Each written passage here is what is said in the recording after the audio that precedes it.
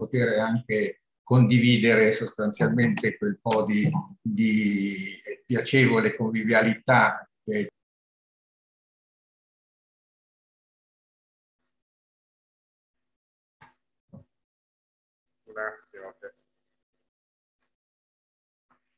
deve accettare anche il professore. E che il suo computer l'abbia tagliato via. Spero che l'università non abbia messo delle sicurezze per evitare che venga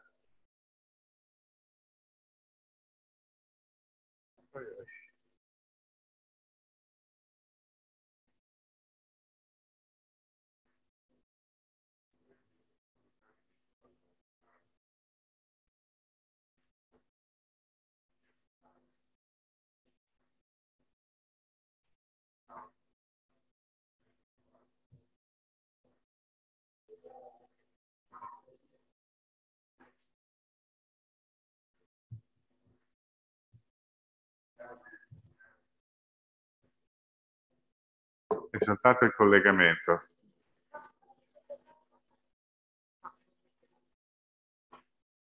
Beh, intanto buongiorno a tutti e a tutte.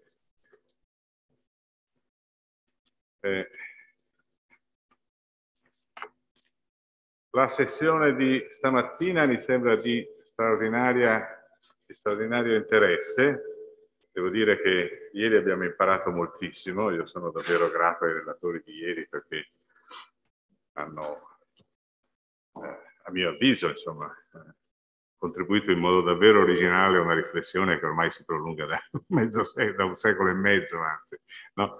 la, la, fin dalla morte di, di, di, Mazzini è iniziato questo, eh, questa opera di, eh, di riflessione. E eh, oggi, sperando che si, si riesca a ripristinare questo collegamento con Roberto Cresti, avremo appunto le relazioni di eh, Roberto Cresti, che è docente di storia dell'arte contemporanea e di storia dell'arte del Novecento a Macerata, di Laura Piccardo dell'Università di Genova, esperta di storia del risorgimento e di storia dell'Europa federale, se posso concedermi così una, una, una titolazione di merito, ecco, e, e Fulvio Conti, eh, professore di storia contemporanea, preside eh, del, dell'Alfieri di, di, Firenze e che ha appena scritto un libro di grande successo su Dante, l'identità della nazione e quindi ci parlerà in qualche modo, farà ponte tra eh, eh, l'idea di nazione Dante e, e, Mazzini. E poi Pietro Finelli, che è direttore della Domus eh, eh, Mazziniana, e ci parlerà dell'umanesimo rivoluzionario di Giuseppe Mazzini. Eh, siamo riusciti a ripristinare il collegamento? Sì, io ci sono. Bene, bene. E, e allora eh, mi trattengo da fare alcuni commenti sulle, eh, eh, sul, su, sull'insieme di queste relazioni eh, e darei subito la parola a eh, Roberto Cresti. L'accordo è di 25 eh, minuti per ciascuno di voi, eh, così riusciamo, anche se saremo in pochi, ma tra noi, a discutere del, eh, del, di, ciò, di, ciò, che ci raccontate. Prego, professor Cresti. Grazie, grazie Presidente. Allora, un saluto a tutti i colleghi eh, convegnisti Dicevo prima, vi parlo dall'Università di Macerata, che è la mia università, ci sono qui gli studenti e eh, avevo a cuore farvi questa comunicazione, anche se in realtà appunto impegni di lavoro mi hanno impedito di venire a Padova e di condividere, come cercavo, non so se sia arrivato prima, prima dell'interruzione, di dirvi anche quel po' di, di, convivialità che è fondamentale anche in questi incontri. Allora, il titolo, Risorgimento alla macchia, eh, a cui ho messo poi anche un sottotitolo anonimo mazziniano. Ecco, eh, è una riflessione che ho fatto a partire da un testo molto famoso dedicato a eh, Mazzini da Giovanni Pascoli, cioè l'inno secolare a Mazzini, che appunto è stato scritto per il centenario della, della nascita. Mi interessa questo fatto perché propone una dimensione di Mazzini che è di carattere metafisico, questa è la ragione per la quale la prima immagine che vi propongo è la famosa, famosissima Acquaforte di Luigi Calamatta, Giuseppe Mazzini con lo sfondo naturalmente di Roma a fianco di William Blake con la scala di Giacobbe, quindi il sogno, la visione degli angeli che salgono e scendono in realtà da e verso Dio.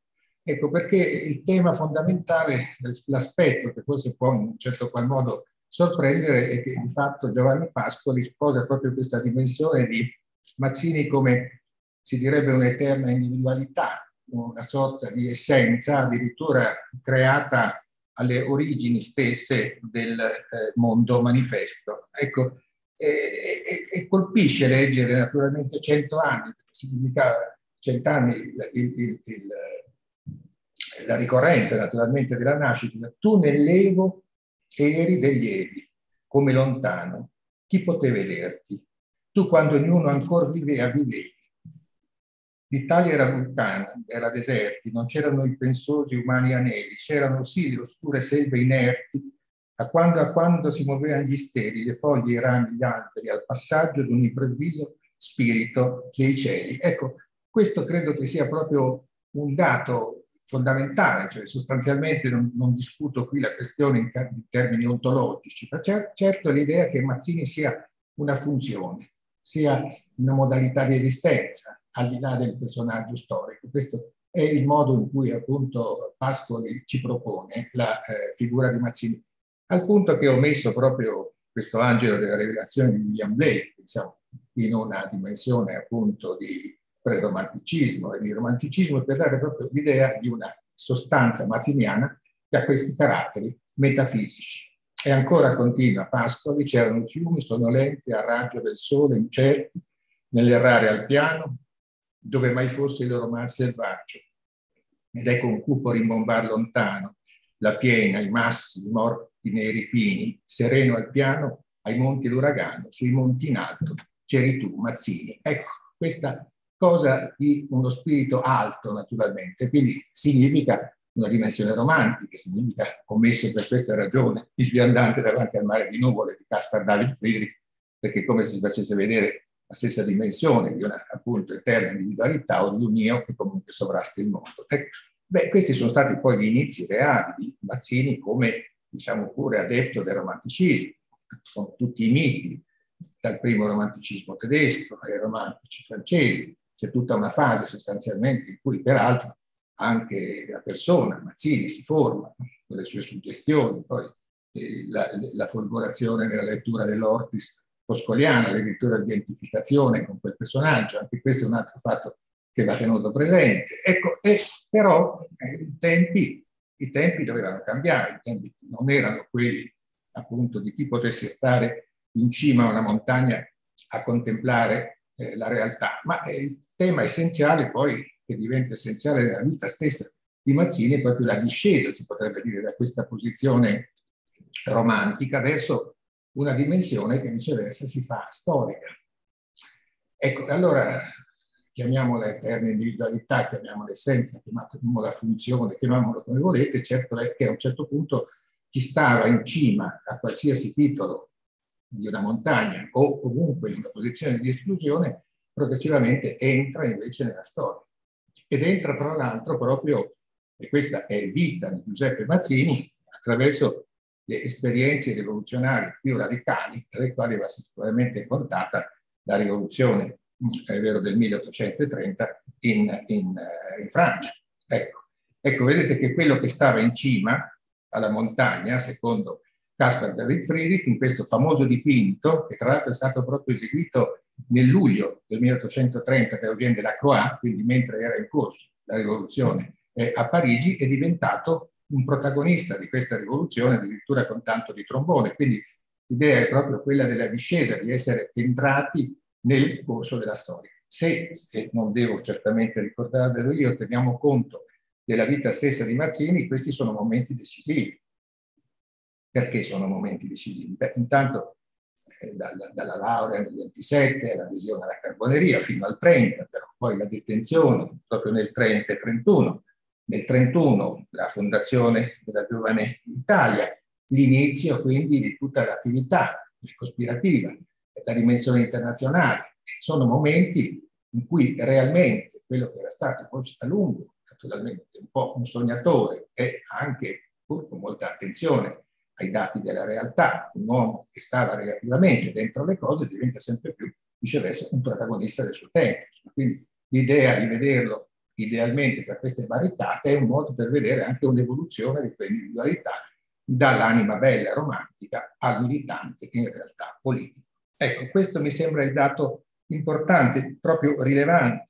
Poi cosa ricordare ancora naturalmente per quello che riguarda eh, le vicende di, quelle, di quel decennio 30 che sono seguito. Ecco, beh, certo la fondazione della Giovane Europa nel 1834 e poi per quello che riguarda Mazzini in particolare la scelta eh, della, eh, de, de, de, della lontananza dall'Italia e addirittura eh, trasferirsi ad abitare a Londra nel 1834 837.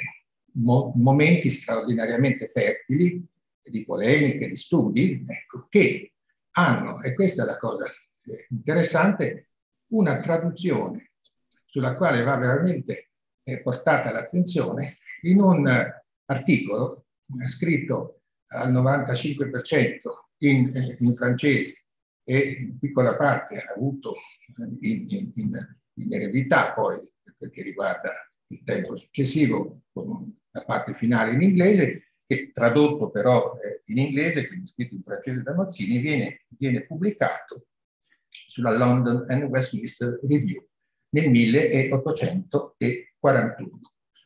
È importante eh, questo articolo, vorrei segnalarlo, non è certamente un, un, primo intervento, ci sono stati altri appunto importanti anche eh, saggi scritti più però nell'ambito della eh, letteratura, sul dramma storico, che addirittura è di dieci anni prima, con altri interventi su scrittori, naturalmente su filosofi, ma insomma nel 41 esce questo strano, che francamente è un po' strano, eh, scritto, in cui si trovano distillati tanti elementi del pensiero mazziniano messi insieme alle arti, associati alle arti. Ecco, questo Ora sappiamo che, che Mazzini era un musicista, eh, la sua attenzione alla letteratura, eh, all'umanesimo, si potrebbe dire in generale, ma qui proprio c'è una focalizzazione sulle immagini. Ed è un, un saggio molto bello, molto bello, che, lo dico subito, esce nell'anno in cui Mazzini comincia a scrivere i doveri dell'uomo. Perché questa è anche la cosa interessante. La, la redazione finale sarà del 1860 ma i primi quattro capitoli vengono scritti a, a, seguire dal 1841 in avanti. Quindi è curioso che ci sia questo legame in realtà fra uno scritto sull'arte e di storia dell'arte italiana moderna e il libro fondamentale di Mazzini che è Il dovere dell'uomo. Quindi quali sono i passaggi? Ci sono questi elementi sostanzialmente? Sì, ci sono fortissimi perché, perché in questo, in questo eh, saggio, insomma, ecco, Mazzini parla sicuramente dei pittori, parla di una dozzina eh, di pittori eh, del suo tempo, più o meno del suo tempo, e tra cui va ricordato Francesco Hayez e naturalmente vedete che ad esempio cita Pietro l'Eremita Predica la crociata, che è un dipinto di, eh, appunto, di Hayez del 1829, perché è chiaro che la predicazione era la sua predicazione, quindi anche qui c'è una dimensione non sono le barricate, naturalmente, non sono ancora, vedete che del 29, non sono le barricate del luglio del, del 30 a Parigi, ma c'è questa idea di mobilitazione, quindi che parli di questo dipinto in particolare, un po' retroattivamente del 41, attesta che evidentemente c'è una immedesimazione con la figura di eh, Pietro l'Eremita e con l'idea di una crociata laica, chiaramente è quella appunto ispirata eh, al repubblicanesimo e quant'altro. Quindi ecco l'idea di una pittura che diventa militante. E poi ancora, qui sempre in questo, in questo, eh, in questo saggio, si leggono le cose fondamentali. Cioè dice Mazzini, è la verità e non la semplice realtà che costituisce per Esife i pittori che Mazzini associa alla scuola moderna italiana in cui vede il primo rappresentante in appunto Francesco Ariez, è per essi, cioè la realtà, la storia. Non solo, ma dice ancora, e qui c'è qualche cosa di personale, io credo, dietro la maschera di Ariez, ossia Francesco Hayez non è né pagano, né cattolico, né eclettico, né materialista. È un grande pittore idealista italiano del XIX secolo. Il secolo gli dà l'idea e la forma. Qui è come se parlasse di sé. Perché in fondo tutta la vicenda mazziniana è un trovarsi in rapporto a una quantità di elementi culturali ed ideali che vengono congiunti in parte, forse addirittura con un ne ne quindi anche qui l'idea interessante può essere quella di vedere in Mazzini proprio una sorta di proiezione, cioè Hayek sarebbe la proiezione dell'io di Mazzini, quindi questa dimensione nella quale ci si trova, poi in realtà il secolo gli dà l'idea e gli dà la forma, cioè è il contatto con la realtà che effettivamente poi crea l'immagine o crea il pensiero. Ecco il dato essenziale. E ancora ancora, dice, sempre eh, rivolto ad Hayez, nessuno fin qui tra i pittori ha sentito come lui, chiedo scusa che lo trovo nei miei appunti perché ho un, ho un mascherino che mi impedisce di leggere, ma ce li ho qui, nessuno fin qui tra i pittori ha sentito come lui la dignità della creatura umana, non quale brilla agli occhi di tutti sotto la forma del potere, del grado, della ricchezza o del genio, ma quale si rivela agli uomini di fede e di amore, originale, primitiva, inerente a tutti gli esseri che sentono, amano, soffrono e aspirano secondo le loro forze con la loro anima immortale. Cioè, qui c'è proprio un richiamo alla realtà.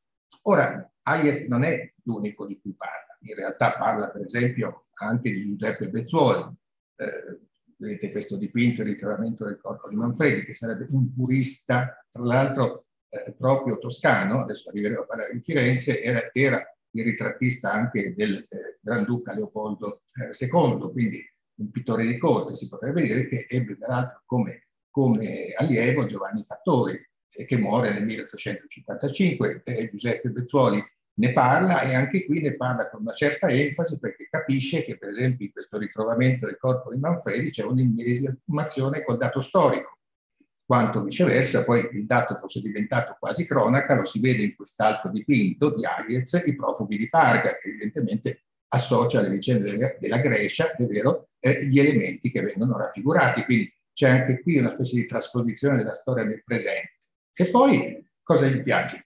Quali sono insomma, gli elementi della pittura che predilige Mazzini? Beh, ho messo la lanterna di Genova di Giovanni Migliara, perché un genovese non si poteva non mettere la lanterna, gli piacciono i, i, i, i vedutisti come appunto Migliara e che però eh, dice si esprimono con sintesi democratica, che significa sintesi dell'io, sintesi del sentimento con quello che viene rappresentato. Quindi il tema anche delle rovine in senso romantico, vedete questi dipinti di Migliara, e poi cita anche fra i pittori, per esempio, Massimo d'Azeglio, ecco, la vendetta, che sono dipinti del 34-35, sono dipinti romantici, cioè dove il tema del, della realtà emerge, emerge proprio empaticamente. Ora, eh, questa è in un certo senso l'idea, il tema essenziale.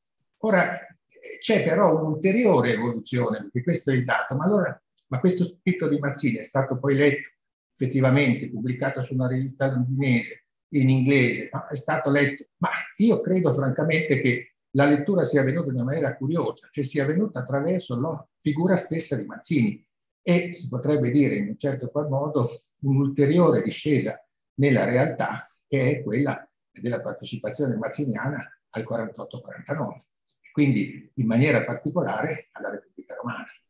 Ecco il dato. E qui, qui veramente il contatto di Mazzini con gli artisti diventa quotidiano.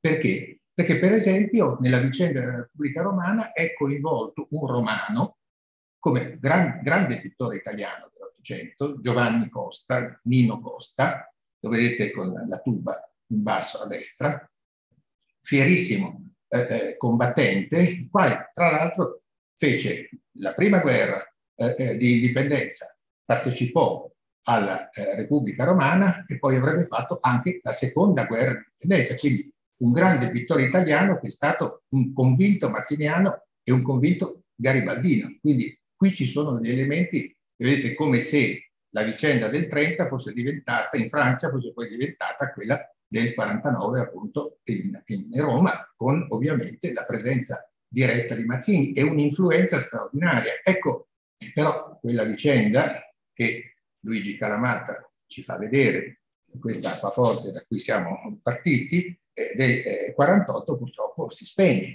Ecco, e qui c'è una fase, si potrebbe dire, di, di traslazione, un cambiamento di luogo. Il fatto che eh, nel Granducato di Toscana fosse eh, una relativa tolleranza nei confronti appunto dei reduci eh, del 48-49, quindi che non vi fosse una, sorta, una, una reale repressione di coloro i quali erano ricercati nei loro, nei loro territori, nei loro regni di appartenenza, implica che arrivino proprio in Firenze una serie di eh, artisti che sono veramente reduci dalle barricate. Per esempio Francesco Saverio Altamura, Domenico Morelli, che vengono eh, da Napoli. Morelli era stato proprio, eh, eh tra l'altro, eh, aveva combattuto sulle, sulle barricate dei, dei, quartieri spagnoli. Poi ancora da Roma arriverà appunto eh, Nino Costa. Poi ci sono in Firenze coloro i quali condividono totalmente l'ideale democratico, l'ideale appunto repubblicano e, sono per esempio i giovani che si chiamano Diego Martelli, importante intellettuale fiorentino del tempo, che sarà il critico del gruppo dei macchiaioli, stesso orientamento, vero, un altro artista non fiorentino ma toscano, cioè Giovanni Fattori che si forma proprio nell'Accademia di Firenze, anche lui con orientamenti mazziniani e anche Garibaldi, oppure ancora Telemaco Signorini. Tra l'altro eh, Martelli e Signorini studiarono insieme a Carducci dei Padri Scolopi, cioè, insomma è un po' un'aristocrazia, si potrebbe dire, del, del pensiero in quel momento. Poi arrivano un po' da tutta Italia, reduci appunto dalle vicende del 48-49 e piano piano in Firenze si crea proprio un clima favorevole a rinnovare la pittura nel segno dell'antiacademismo, ecco il discorso importante di, eh, eh, di Mazzini e anche il fatto che eh, nella vicenda teorica diciamo, di Mazzini eh, tradotta in pratica è come si, se si vedesse una specie di, di, di discesa appunto mh, eh, della figura dell'artista alla figura del politico, senza nessun estetismo, ma proprio come fatto militante, come responsabilità, come coscienza. E qui c'è una, c'è una definizione che Mazzini dà dell'artista che è assolutamente straordinaria. Questa la si trova proprio nel saggio che ho menzionato prima, La pittura moderna d'Italia. Dice traduttore accurato di una lingua sacra che più tardi diverrà la lingua di tutti. Questo è Mazzini.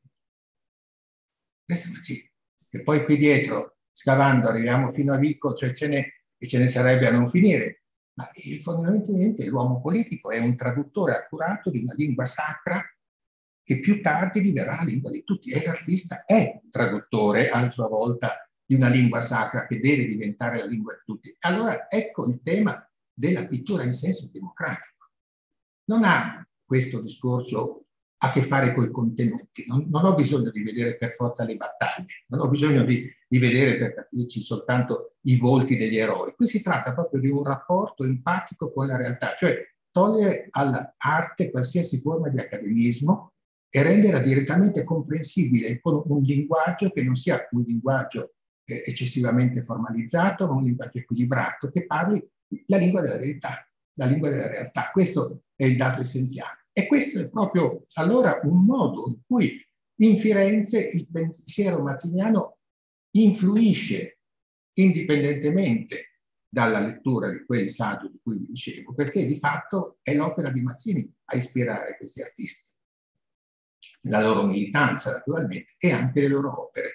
Vedete che per esempio interessante questo, proprio questo passaggio da Roma verso Firenze, di Francesco Savelli Altamura, che siamo un po' più in là, il tricolore portato a Firenze. Vedete l'idea che l'arte porti questo tricolore di umanità, di repubblicanesimo, di pensiero democratico, come elemento di una comunità, o diciamolo con Mazzini, di un'associazione, di una libera associazione.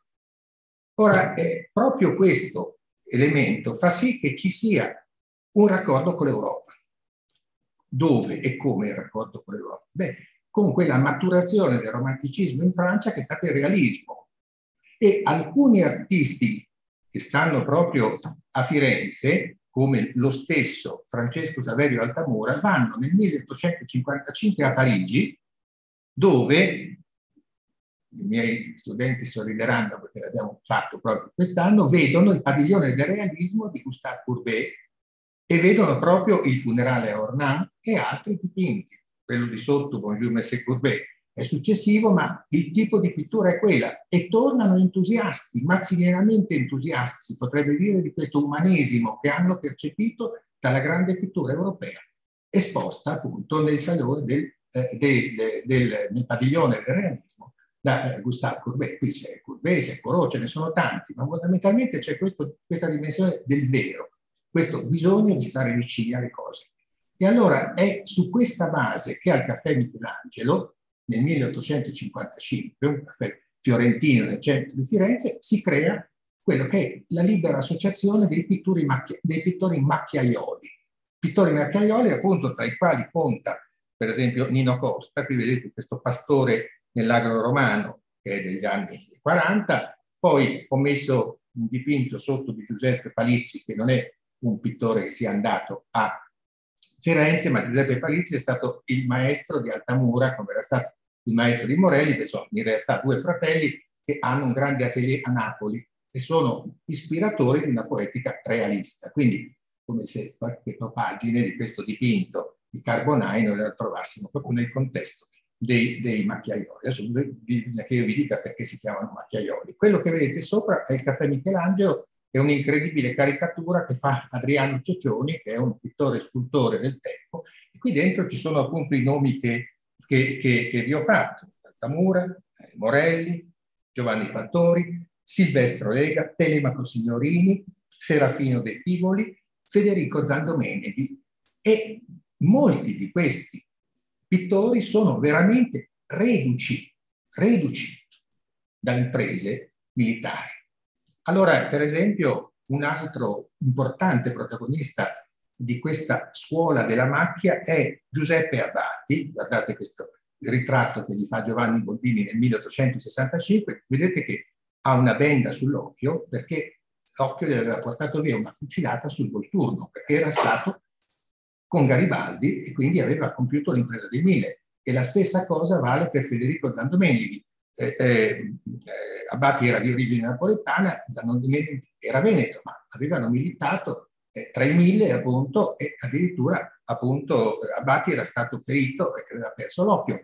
Guardate fra l'altro anche come Silvestro Lega proprio ritrae Garibaldi, sembra un profeta. Io prima ho parlato di eterna individualità, ecco, potrebbe benissimo stare in quel discorso che faceva Pascoli su Mazzini, che esisteva in un certo senso addirittura prima che qualcuno esistesse. Ecco, quindi c'è una sorta di mistica anche in questo senso, chiamiamolo un realismo etico, e questo realismo etico comporta proprio un legame profondo con la vita, con la eh, realtà, secondo quella che viene chiamata la scuola della macchia. Allora, intanto vediamo un momento perché questo.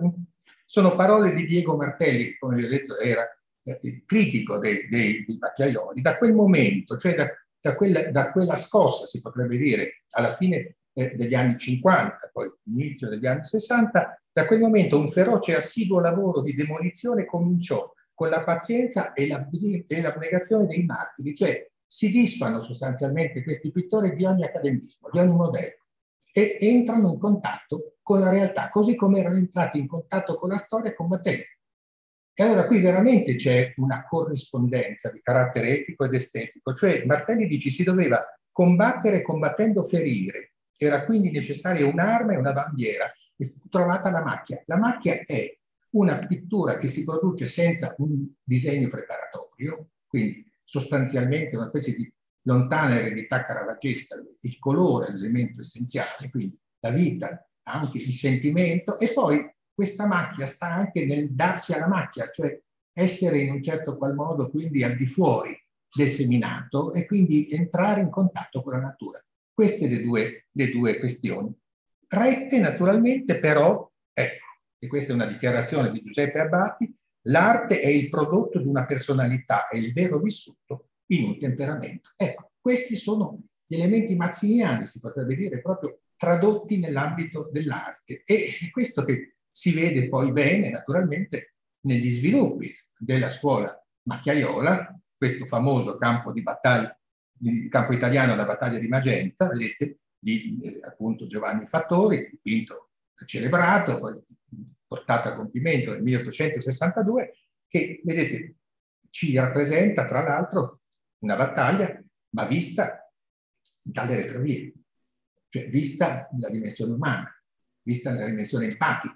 Mm? Quindi in questo ecco che l'artista diventa protagonista di una comunità non retorica, al di là della vittoria si potrebbe dire. Quindi ecco il dato sostanziale, proprio l'avvicinarsi, l'essere vicini. Nessuno aveva mai pensato di rappresentare una battaglia vista addirittura dal punto dei feriti, dal punto di vista dei feriti. Certo, l'avevano fatto romantici, qualcuno aveva, è vero, come per esempio Gerico, rappresentato i veri poveri i disgraziati che avevano partecipato alla, alla, alla impresa, alla, alla campagna di Russia di Napoleone, ma qui però è sviluppato in un altro modo, c'è una dimensione corale. Insomma, questa è la vera dimensione di una pittura democratica. Ed è talmente chiaro che per questi pittori ci fosse questo sodalizio, questo legame, che Silvestro Lega, che è un altro grande protagonista, come Giovanni Fattori, della appunto scuola macchiaiola, a modo suo, perché poveretto era un romagnolo, Romagnoli Romagna, insomma, aveva fatto gli studi che aveva fatto, insomma, che si esprime in maniera forse un po' incerta, ma piuttosto bella, quando dice non avendo mai dipinto il paese, andai con degli amici in campagna per fare studi, sentii dentro di me un'impressione come trasportato da una nuova vita nell'arte. Erano nel 1959. Scoppiata la guerra, mi occupai a fare qualche quadro di circostanza. Feci bersaglieri che conducono dei prigionieri, gli ero io che cominciava a fare come sentiva, come voleva, come sapeva. Ecco, questa è una dichiarazione mazziniana. Questa è la dimensione in cui in realtà quello spirito, che sembrava così lontano, che aleggiava quasi, sembra sulle acque, sulle terre prima della creazione, si immedesima nel paese italiano, nella storia ma anche nella geografia, al di là di fatto proprio dei temi che pure qui chiaramente si riferiscono al, eh, appunto alla seconda guerra di indipendenza e tutto quello che ne è seguito naturalmente. Quindi ecco, saper leggere in queste dimensioni straordinarie della scuola di Chiaiola ha proprio queste espressioni eccezionali, anche di assoluta normalità. Tra l'altro, vedete, altro tema mazziniano fondamentale, la donna il ruolo della donna, la funzione della donna. Guardate questo canto di uno stornello del 1868. Questi sono naturalmente eh, poi anche eh, gli anni di Firenze Capitale, quindi naturalmente c'è qualcosa di importante come modello. E poi ancora queste vedute, vedete, la cupola naturalmente di Brunelleschi, il campanile di Giotto, ma viste dagli orti. In un certo senso è come la battaglia di Magenta vista appunto dalle retrovie, perché è il sentimento che conta fondamentalmente. Rileggiamolo, traduttore accurato di una lingua sacra che più tardi diverrà la lingua di tutti. Ecco, questa diventa la lingua di tutti. E guardate che l'impressionismo in Francia non è ancora cominciato. Perché se questi dipinti sono del 68, del 63, il primo moto impressionista è del 74, quindi addirittura anticipano i tempi. Sono degli sviluppi empatici del realismo sempre più e i più giovani sono proprio straordinari. Quello che voi vedete in alto è, per esempio, questi, questi interni di chiostro, proprio di quel Giuseppe Abbati, poveretto, quello senza l'occhio, di cui vi, eh, vi, dicevo, vedete il chiaroscuro, il, il, il, quadro macchiato perché è riportato a, dei, a delle dimensioni chiaroscurali elementari, no? il bianco, il nero, alcuni gialli, le terre bruciate, o ancora notate come proprio i soggetti siano i soggetti di una semplicità assoluta. Questo, per esempio, i tetti al sole di un grandissimo pittore, destinato purtroppo a una morte precoce, cioè Raffaello Sernesi, a mio parere il maggiore pittore giovane di questo gruppo, che costituisce una specie di, di, di macchia della macchia che si chiama la scuola di Pergentina, ma questo significa semplicemente dai luoghi dove andavano a dipingere air, o ancora qui straordinario, sempre di Sernesi, la punta del Romito da Castiglioncello. Allora, appunto, tra l'altro Diego Martelli aveva una villa proprio a Castiglioncello dove andavano anche a trovarsi i vari fattori, Lega e quant'altro. Ecco, qui è come se noi leggessimo a quando a quando si muovevano gli steli, le foglie, i rami, gli alberi, al passaggio di un improvviso spirito dei cieli. Cioè è come se il paesaggio fosse Mazzini e lo fosse il modo di rappresentare e l'empatia e quel sentimento di comunità che è terra comune, che è luogo comune, che è mare comune, che è luce comune. E questo è un dato fondamentale, vedete, a prescindere dal tema, non c'è il trombone, la farfalla, la, la sciabola, può anche esserci, ma non è questo l'elemento decisivo. Quindi ecco quello che vi dicevo. E allora, chiedo scusa ai colleghi e mi avvio rapidamente anche a chiudere questo discorso, e c'è una triste vicenda in realtà. Qual è la triste vicenda? È che intanto bisogna dire che erano dei combattenti indefessi perché in realtà, eh, per esempio, Abbati e lo stesso Federico Zandomenichi, che vedremo dopo, corrono in Aspromonte, sono con Garibaldi anche nel 72 in Aspromonte, cioè erano pittori che militavano realmente nelle vicende del risorgimento, quindi per come dipingevano, ma anche per come volevano combattere. Quindi non è che si tirino indietro, entrare dentro la realtà era assolutamente fondamentale. Ora, eh, qual è il punto? Eh, qui diciamo un suggerimento poi a cui vorrei arrivare.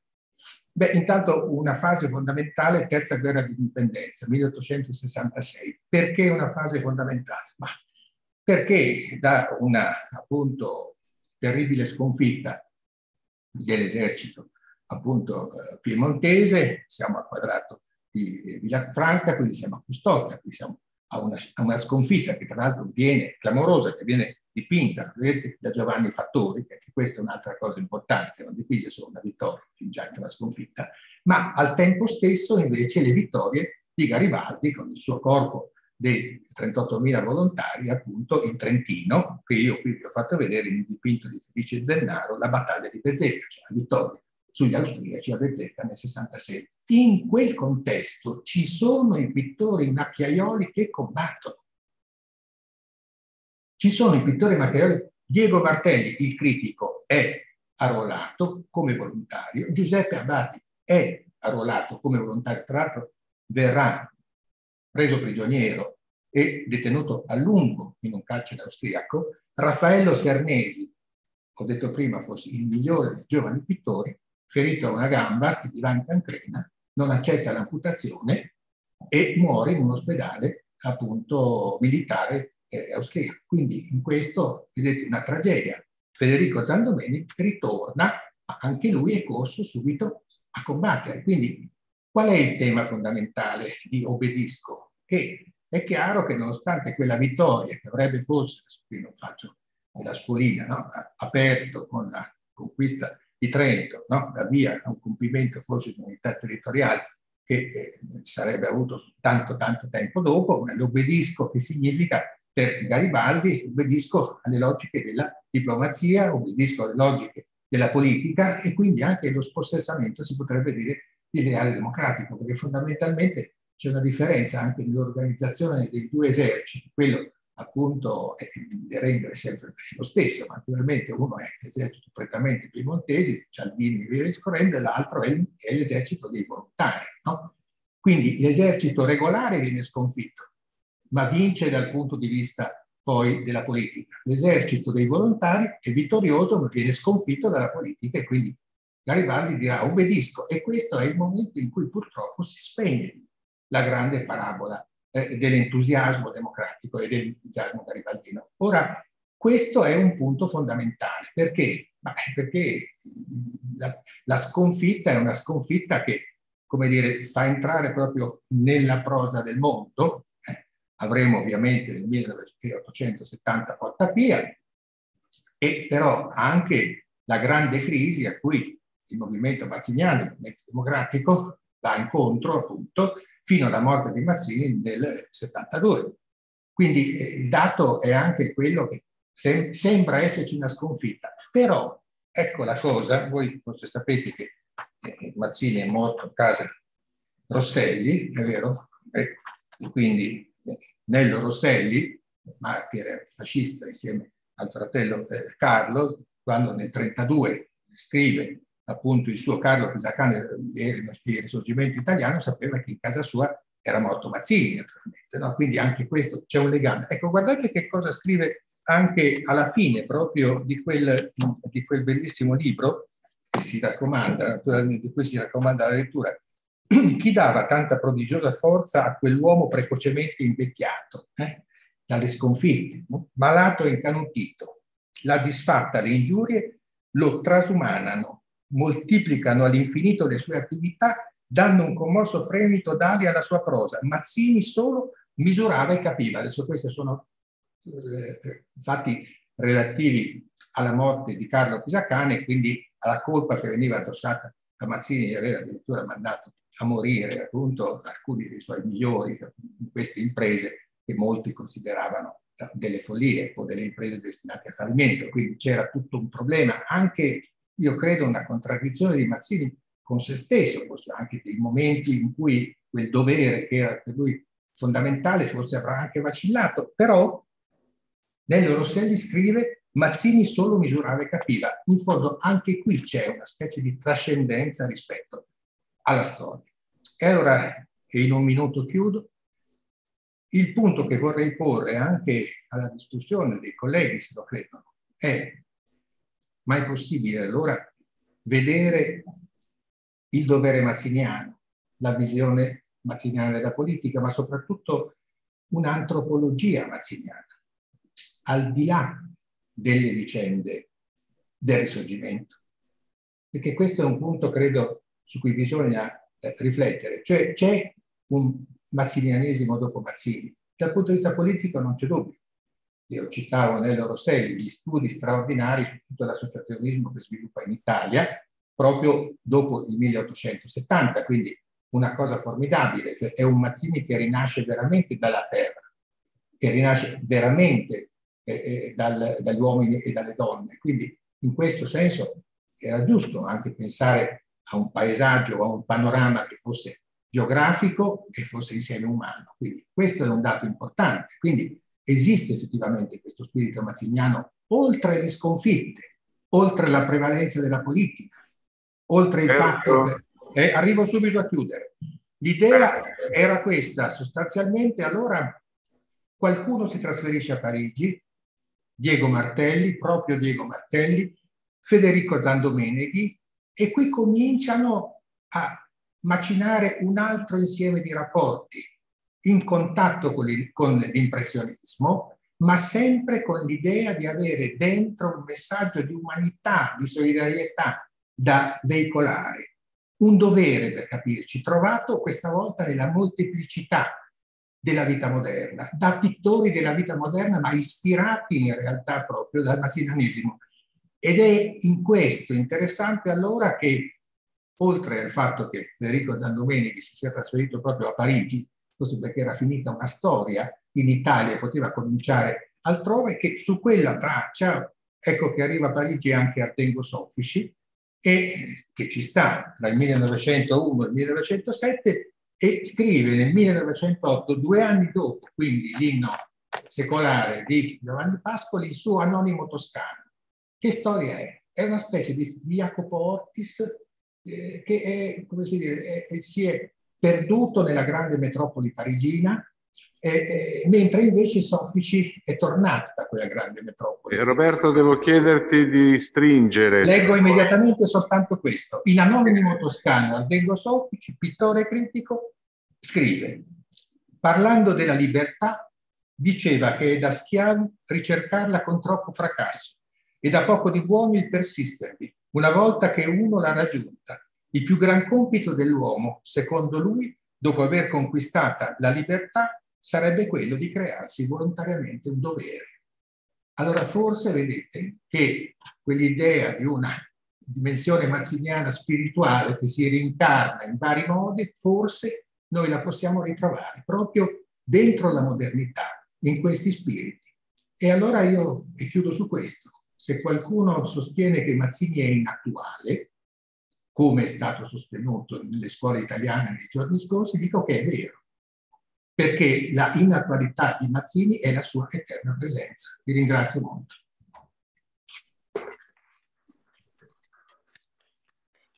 Grazie eh, eh, di questa lettura così eh, trasversale che riesce a mettere insieme arte, letteratura, politica e, e, a concludere eh, coerentemente con una riflessione appunto sull'attualità di, di, di, Mazzini. Poi in sede di discussione eh, eh, mi, mi, mi, concederò qualche commento anche su questa, su questa seconda dimensione dell'essere alla macchia, eh, che tu però hai trattato molto, in modo molto suggestivo, prendendola dal punto di vista eh, del, del, dell'interazione tra Mazzini eh, e le arti. Direi di dare subito eh, la parola a Lara Piccardo che ci parlerà della prospettiva europeista in eh, Giuseppe Mazzini.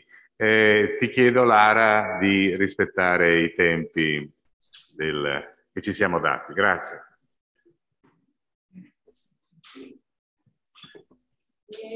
Grazie, grazie Presidente. Ringrazio anche io, come già ieri è stato fatto, la professoressa, Scala, la professoressa Scala per la grande energia che ha messo nell'organizzazione di un convegno che finalmente ci voleva un ritorno in presenza assolutamente piacevole. Ehm, è corretto, secondo me, ritornare anche a vedersi, a frequentarsi, a scambiarsi vis-à-vis -vis quelle che sono le varie, come dire, ricerche in corso o appena concluse.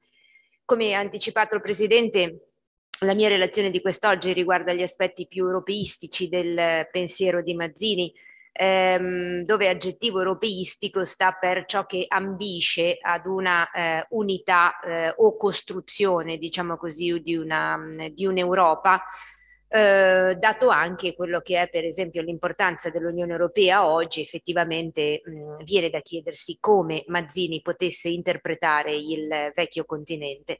In parte ieri, ascoltando la relazione del professor Balzani, ci siamo già fatti un'idea su quella che poteva essere la visione di Mazzini, che rimane la visione di un uomo ottocentesco per certi versi. Mazzini eh, naturalmente all'interno del suo lavoro dedica ampio spazio all'Europa, questa Europa ha una visione eh, e ha un modo di essere concepita però eh, anche abbastanza mh, mm, peculiare eh, all'interno di un secolo che vedeva eh, la lotta verso un'indipendenza o una nazionalità come fronte primo ecco, di eh, discorso politico.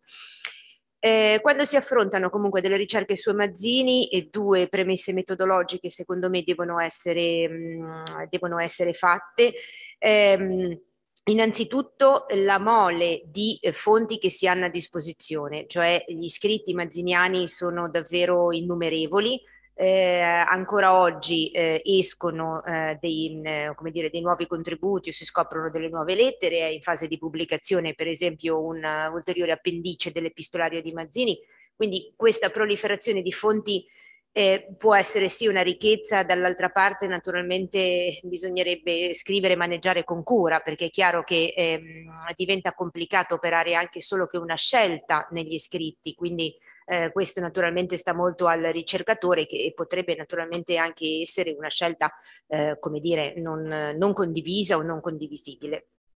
Eh, la seconda ehm, premessa che volevo farvi è che ehm, anche l'idea di Europa, e ieri l'abbiamo già sentito nella relazione del professor Balzani, si trasforma in Mazzini nel corso del tempo. Eh, non è un'Europa fissa, intesa in senso geografico, è un'Europa che cambia. Eh, tuttavia ci sono due elementi all'interno del pensiero mazziniano che ci danno i mh, mm, come dire, eh, così, punti cardinali che sono fissi in merito ai quali poter organizzare tutto il nostro discorso. Il primo mh, mm, riguarda il fatto che per Mazzini esiste la nazione, ehm, l'individuo e mh, mm, appunto l'umanità. Il secondo punto riguarda l'ordine di questi tre elementi, perché se abbiamo da un lato l'individuo e dalla parte opposta abbiamo l'umanità, la nazione viene vista da Mazzini come un medium, come un mezzo sostanzialmente per passare appunto dall'individuo, dall'individuo alla umanità. L'umanità è il dato ultimo, mh, mm, sopra l'umanità c'è soltanto Dio e come dire tutta la storia eh, mh, mm, procede lungo uh, una forma di costruzione delle nazioni che inevitabilmente liberandosi eh, dagli assolutismi tenderanno in via assolutamente naturale a questa unità, a questa umanità. È un dato che non è da dimostrare perché è inevitabile, questo succederà e per Mazzini viene dato in qualche modo, come dire, un po' come scontato. Eh, l'umanità per Mazzini coincide con l'Europa per una larga parte, perché in fondo Mazzini è, lo ripeto, un uomo dell'Ottocento, quindi eh, l'Europa è come diceva in un suo scritto, e qui vado a citare, l'Europa e potremmo dire il mondo, da che l'Europa è la leva del mondo, non crede più nella santità delle razze regali e poi va avanti. Il passaggio che mi premeva sottolinearvi è come effettivamente ci sia questa coincidenza sicura tra umanità ed Europa e in Mazzini l'Europa è un po' il mondo, ma questo credo sia abbastanza normale. Ancorché poi, ed è già stato detto la, il, sempre in, ieri, adesso mh, chiedo scusa al relatore, non ricordo chi di preciso, si faceva riferimento all'abolizionismo, mm, eh, quindi alla guerra civile mm, americana, insomma gli, avvenimenti di quel periodo, eh, quando Mazzini poi comincerà a guardare anche all'America e agli Stati Uniti, farà rientrare gli Stati Uniti nell'umanità, quindi questo concetto di umanità tenderà poi ad ampliarsi. Ehm, Mazzini tra l'altro eh, crede che alcuni popoli extraeuropei debbano ancora fare ampi passaggi prima di poter essere accolti nell'umanità. Qualcuno diceva eh, si nota un certo razzismo in Mazzini. Mm, direi di no, eh, semplicemente in modo ampiamente, come dire, normale per, per l'epoca, Mazzini si aspettava che ci fossero ancora dei passaggi politici, delle costruzioni politiche da effettuare prima che questi popoli potessero poi andare a partecipare a questa umanità che ho cercato di descrivervi al meglio delle mie possibilità. Ehm, Mazzini è un uomo di eh, appunto non soltanto pensiero ma anche un uomo di, di, di azione e, e per eh, procedere eh, alle azioni nel corso del suo tempo tenendo fede diciamo a questi elementi come ve li ho indicati eh, cerca di organizzare naturalmente il lavoro attraverso una serie di eh, diciamo in termini generici associazioni ehm, che, vengono, che si modificano nel corso del tempo, eh, perché Mazzini ebbe, secondo me, come grande caratteristica positiva quella di sapersi sempre adattare. Ehm, si adattava in base alle condizioni storiche, politiche del particolare momento, pur mantenendo fermi, dicevamo appunto, eh, alcuni eh, elementi assolutamente essenziali. Ehm, le organizzazioni che Mazzini va a formare non hanno a che fare con una definizione, come posso dire, di un assetto istituzionale europeo, come si può immaginare per esempio per altri eh, autori e tendenzialmente novecenteschi. Nel corso dell'Ottocento direi che l'unica eccezione è Carlo Cattaneo, che parlava effettivamente di Stati Uniti d'Europa, tutti gli altri avevano una visione di tipo un po' differente c'è da dire che però Mazzini rispetto a tutti gli altri autori ottocenteschi ha assolutamente chiara la differenza tra confederazione e federazione. Questo non è un elemento secondo me di secondaria importanza in un secolo in cui ancora si faceva fatica. La riforma della confederazione elvetica era per la trasformazione della confederazione in una federazione che però mantiene il nome di confederazione gli Stati Uniti sono una repubblica federale ma rimangono come Stati Uniti d'America, quindi anche da un punto di vista, come dire, lessicale, eh, qualche confusione sembrava apparire. Per Mazzini tutto è assolutamente chiarissimo. Le, che cos'è la federazione è chiaro, così come la confederazione. Era laureato tra l'altro in giurisprudenza, si era laureato in Iure Utroque a Genova, mh, aveva seguito tutto il dibattito relativo alla ehm, trasformazione della Confederazione Elvetica, quindi aveva esattamente chiaro eh, quello che eh, era l'una e l'altra, e l'altra forma.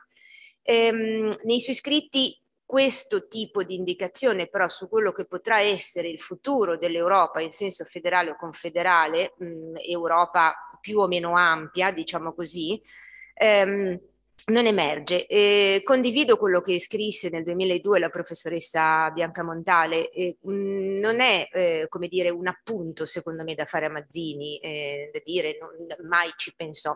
Mazzini era un pragmatico tra le altre cose, quindi semplicemente dovendo prima raggiungere eh, il livello di nazione eh, diverse, appunto nazioni europee, era prematuro cominciare già a pensare di quello che sarebbe stato.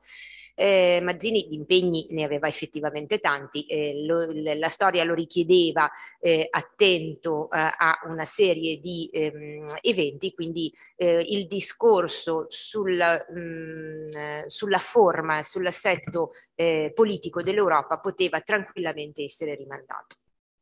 Eh, sono appunto invece le sue varie eh, associazioni con molte virgolette che cambieranno, il modo, eh, che cambieranno poi vari nomi, eh, che caratterizzano come dire, la parte di attività politica legata all'Europa. Eh, la prima eh, credo che possiate facilmente individuarla, naturalmente si tratta della Giovine Europa, credo di non dover spendere molte parole su questo ehm, prima ehm, come dire, federazione ecco, di, di, di rivoluzionari. Ehm, è molto interessante però leggere eh, diversi contributi di Mazzini in merito alla Giovine Europa perché per Mazzini la Giovine Europa doveva essere formata da tutte le giovani nazioni, eh, non soltanto da quelle che erano già state create e, e, che si erano federate nella Giovine Europa, ma soprattutto interessante andare a vedere tutte quelle a cui lui pensava. E per esempio, facendo riferimento, mi riaggancio alla relazione eh, del professor Balzani di ieri, eh, mai pensò ad una giovine Russia. Eh, forse non è un caso, però tante giovani invece in, in ambito slavo già esistevano. È esistita in realtà poi una giovine Russia, eh, ma questa giovine Russia, eh, i cui aderenti erano però degli studenti universitari dell'Università di San Pietroburgo, eh, che avrebbero poi però aderito ad una eh, società segreta terroristica, cercarono il contatto con Mazzini, quindi fecero avere delle lettere a Mazzini, Mazzini mai ne volle sapere. Diciamo che eh, il, il, terrorismo, ecco, non faceva l'assassinio di Stato, non facevano parte del suo eh, DNA politico, per cui eh, laddove possiate leggere Giovine Russia, in effetti sì, ma non eh, di ambito mazziniano. Mazzini mai, mai la riconobbe. Quindi interessanti tutte le varie giovani eh, a cui lui eh, si, si, dedicò, eh, alcuni contributi nei volumi curati da Giovanna Limiti per esempio ce ne danno un, un ampio sguardo, quindi eh, a quello rimando e non sottraggo altro, altro tempo su questo punto perché eh, volevo citarvi almeno ancora altre due ehm, organizzazioni mazziniane che puntavano, come dire così, a lavorare per la creazione di nazioni che avrebbero potuto affratellarsi nell'umanità. Ehm, in ordine più o meno cronologico abbiamo il um, Comitato eh, Democratico, e in questo caso eh, era un comitato centrale di nuovo per riprendere le file del discorso ehm, rivoluzionario eh, dopo eh, il 1848-49, quindi per cercare di andare a ricreare come dire, un sistema eh, di ehm, collegamento tra i rivoluzionari europei che avrebbero dovuto occuparsi delle proprie nazioni, che avrebbero potuto eh, poi trasformarsi in nazioni democratiche e affratellarsi. Eh, un'ultima eh, associazione eh, che vi cito eh, e, mm, e, sto andando veloce perché volevo lasciare gli ultimi minuti per un paio di considerazioni è l'Alleanza Repubblicana Universale. L'Alleanza Repubblicana Universale ebbe un ruolo abbastanza rilevante nella misura in cui ehm, Mazzini immaginava di poter integrare anche i rappresentanti degli Stati Uniti d'America e quindi qui vediamo, come posso dire, questo ampliamento del concetto di umanità e di Europa eh, in eh, generale. Ehm, ancora se ho ancora qualche minuto a disposizione perché eh, volevo ancora eh, individuare eh, un, un, paio di elementi su questo mh, mm, discorso. sì. Con, con, moderazione, ho ancora tempo, oh, d'accordo. No, volevo soltanto appunto mh, mm, individuare eh, veramente due ultime cose. Ehm, è interessantissimo secondo me andare a valutare quelli che sono gli aspetti europeistici del pensiero di eh, Giuseppe Mazzini eh, perché Giuseppe Mazzini sarebbe stato poi richiamato all'interno di eh, altri aspetti altri documenti eh, che avrebbero avuto a che fare con l'unità europea in epoca per esempio novecentesca. Eh, questa trasposizione grazie alla resistenza eh, di eh, ideali mazziniani all'interno di una serie di battaglie per l'Europa eh, merita eh, secondo me di essere guardata partendo proprio dal fondatore di quelle idee. Le idee mazziniane eh, vorrei anche sottolineare naturalmente che vengono individuate anche nelle linee politiche, diciamo così, più pure, non per forza relative, eh, diciamo, all'Europa eh, l'idea eh, che eh, l'Europa debba innanzitutto crearsi in nazioni, eh, senza andare naturalmente verso il nazionalismo, perché quella ne sarebbe una degenerazione, eh, e cioè eh, trasformare l'Europa vecchia, morente dei sovrani del papato in un'Europa nuova è naturalmente il dato essenziale. Democrazia e Repubblica insieme a libertà sono le parole chiave e mh, per ripercorrere anche un po' le relazioni che sono state mh, eh, appunto raccontate ieri, ma anche eh, la parte dell'arte che abbiamo appena ascoltato del professor Cristi, bisogna dire che per Mazzini la cultura era l'elemento essenziale, davvero unificatore di questa Europa che lui si rendeva conto essere assolutamente eterogenea, eh, lo faceva, lo sapeva, descriveva precisamente tutti i vari gruppi ehm, etnici addirittura di, di slavi.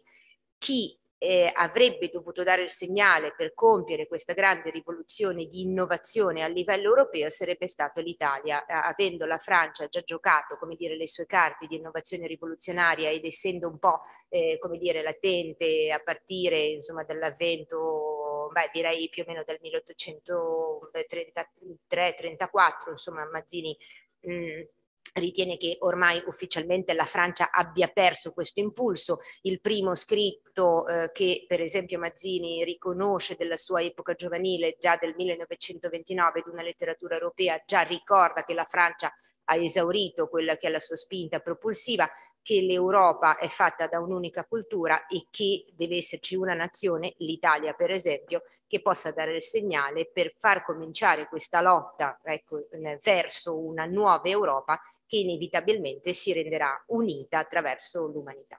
Grazie.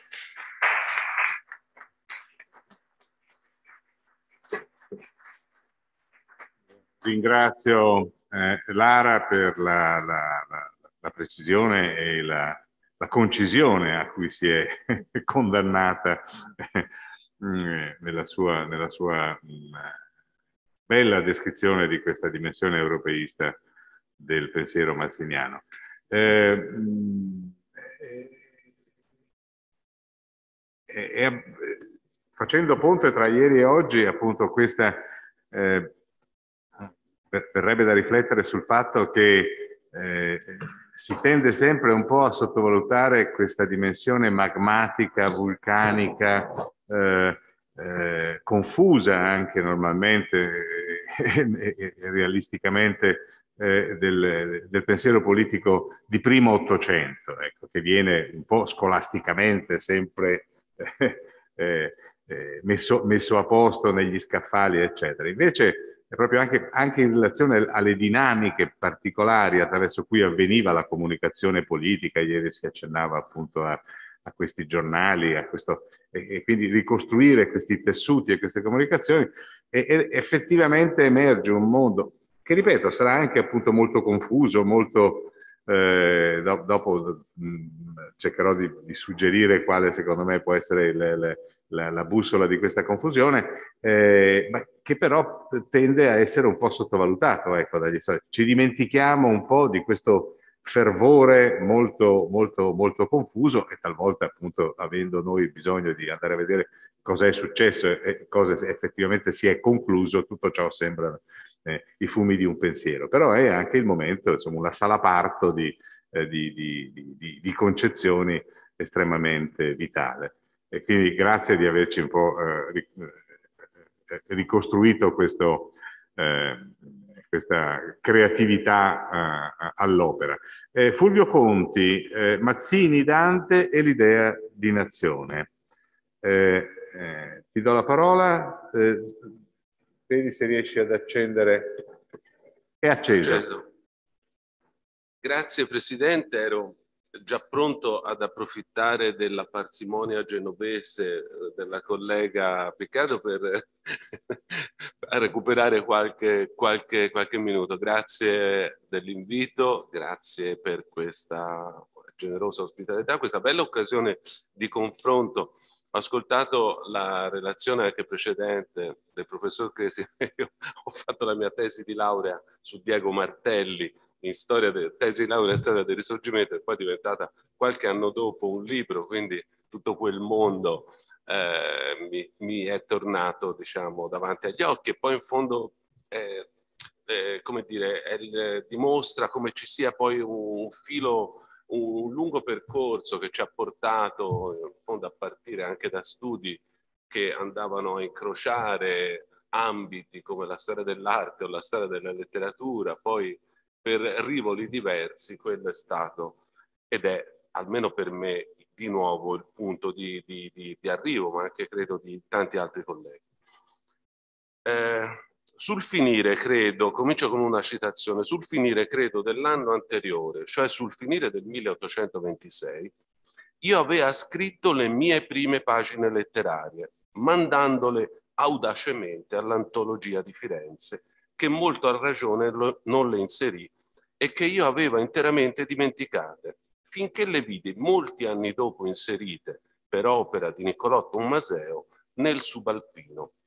Versavano su Dante che io dal 1821 al 1827 aveva imparato ad amare non solamente come poeta, ma come padre della nazione. Così si esprimeva Mazzini sul filo della memoria nella nota autobiografica che apriva il primo volume dei suoi scritti editi e inediti, apparso per i tipi di Daelli nel 1861. Il riferimento era al famoso scritto dell'amor patrio di Dante che egli compose appunto fra il 1826 e il 1827, quando aveva tra i 21 e i 22 anni. Su questo primo lavoro di Mazzini e sul suo curioso destino editoriale mi soffermerò fra breve. Prima però dobbiamo provare a dare risposta ad alcuni interrogativi. Perché Mazzini negli anni dell'adolescenza, della sua prima formazione culturale, aveva imparato, come scrive, come avrebbe scritto dopo, ad amare Dante non solamente come poeta, ma come padre della nazione? A quando risaliva questa lettura del sommo poeta. All'epoca in cui Mazzini compose quel suo primo testo politico-letterario, il canone si era già formato? Oppure egli intravide e anticipò un uso pubblico di Dante che si sarebbe consolidato negli anni a venire? E quale contributo, una volta stampato, quello scritto mazziniano dette alla consacrazione del poeta fiorentino come profeta della patria? Su questi aspetti sono usciti alcuni lavori, eh, in occasione del centenario dantesco del 2021 ed io stesso, lo ha ricordato il presidente Fumian, vi ho contribuito con un libro, Il sommo italiano, Dante e l'identità della nazione, che qui riprendo, richiamo in alcune sue linee essenziali. A cominciare dal debito che ritengo doveroso pagare con un grande storico della letteratura italiana, Carlo Dionisotti, e specialmente con un suo articolo apparso nel 1966 dal titolo Varia fortuna di Dante. Dionisotti, 1966, nel tentativo di delineare le premesse storiche della celebrazione nazionale del settimo centenario della nascita di Dante, avvenuta nel 65 e appena giunta a conclusione, riconduceva quel tipo di manifestazioni, cito, alla religione laica, democratica, nazionalistica, nazionalistica e storicistica affermatesi in Europa nel secolo scorso. Prima dell'Ottocento, osservava senza mezzi termini, non se ne trova traccia.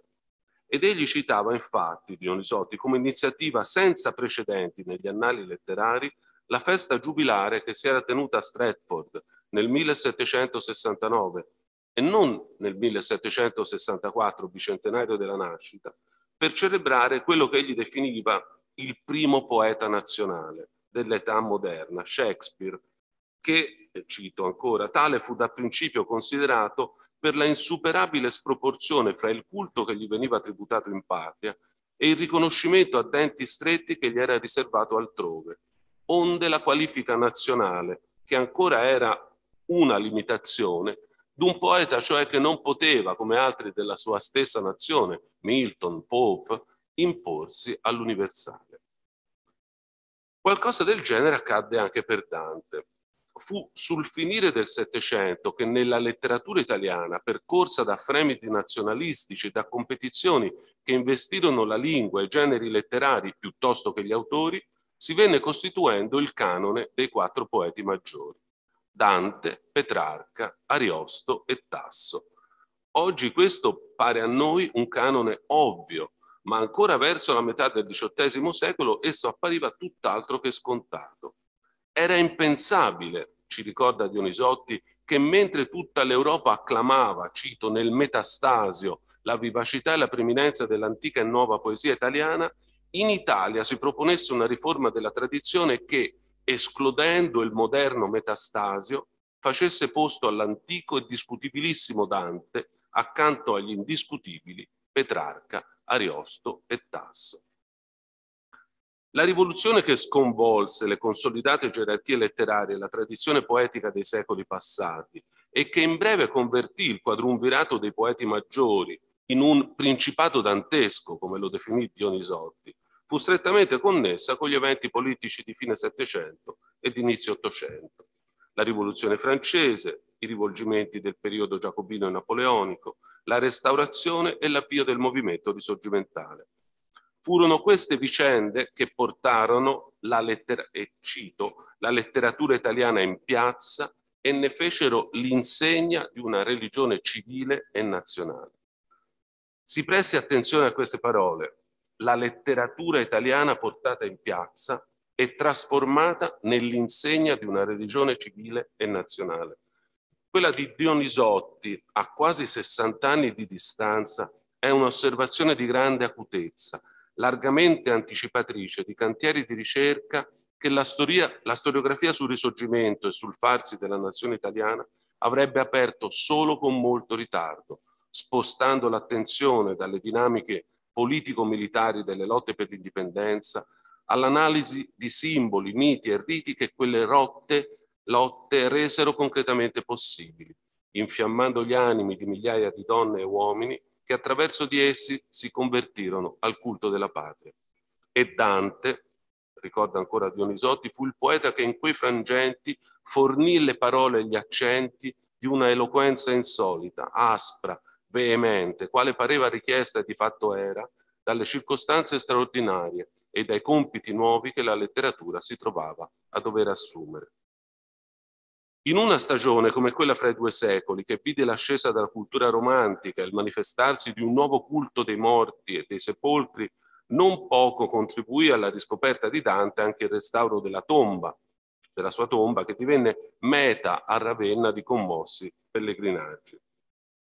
La tomba fu eh, ultimata nel 1781 nella versione tempietto neoclassico come noi oggi la conosciamo e fu riconsacrata dalla presenza delle ossa del poeta e che essa esercitasse un'attrazione inusuale lo dimostrò con tutta evidenza Vittorio Alfieri che nel 1783 due anni dopo la conclusione del, del, della nuova tomba, insomma, fu tra i primi a renderle omaggio e scrisse nella vita. Di Bologna mi deviai per visitare in Ravenna il sepolcro del poeta e un giorno intero vi passai fantasticando, pregando e piangendo. Fu Alfieri a stabilire un nesso indissolubile fra l'uomo Dante e la sua opera, fra l'esemplarità dei valori morali e politici mostrata nel corso dell'intera esistenza e le vette sublimi della sua poetica letteraria. Nel Trattato del Principe delle Lettere, composto fra il 1778 e il 1789, egli anticipò la, let la lettura patriottica del periodo romantico risorgimentale. E tra coloro che riconobbero questo ruolo d'Alfieri vi fu, oltre un secolo dopo, Giosuè Carducci. Per Vittorio Alfieri, scrisse Carducci, Dante nostro tornò quel che veramente grandemente anche fu, un sublime, un ardente, un fiero e indomito amatore della sua patria, della madre nostra Italia. Ai, serva Italia! Cotesto e mistichio faceva rizzare i capelli ai nostri padri e le mani cercavano la carabina e incontravano le catene dei tiranni, grazie all'Alfieri, al Foscolo, al Mazzini. Fu Foscolo, oltre ad essere egli stesso protagonista principe di questo revival dantesco, tra i primi a riconoscere i meriti di Alfieri, che non esitò ad accostare a quelli di Vincenzo Monti. Il tutto, ovviamente, nel quadro di uno Zeitgeist trasformato in profondità dagli eventi rivoluzionari di fine Settecento, del quale il poeta di Zante aveva piena consapevolezza. Nel discorso sul testo del poema di Dante, pubblicato a Londra nel 1825, scrisse Per tutto il secolo scorso, il Settecento, la poesia di Dante non trovò giudici competenti, se non quando la gioventù crebbe, preparata allo studio della Divina Commedia, sì per le nuove opinioni che cominciavano a prevalere in Europa, e sì per l'educazione che gli ingegni di Vittorio Alfieri e di Vincenzo Monti desunsero in guise diverse dal creatore della poesia e della lingua italiana. Il contributo di Vincenzo Monti alla rinascita del culto dantesco fu per molti aspetti decisivo. Qui mi limito a ricordare sul piano letterario il poema Basvigliana del 1793 con il recupero della terzina che fece parlare i contemporanei di un Dante non più relegato al ruolo di monumento, bensì redivivo e ingentilito, punto di riferimento prezioso della nuova poesia e letteratura. Un'autentica svolta però nella direzione di una popolarizzazione del culto dantesco si produsse nel 1798, quando fu proprio Vincenzo Monti, nominato dal direttorio della Repubblica Cisalpina commissario amministrativo per la riorganizzazione della provincia di Romagna nei due dipartimenti dell'Amone e del Rubicone, a promuovere un pubblico omaggio a Dante. Monti arrivò a Ravenna la sera del 26 dicembre 1797 e appena tre giorni dopo vi inaugurò un circolo costituzionale proclamando per il 3 gennaio 1798 pochi giorni dopo, pochissimi, la festa in onore di Dante.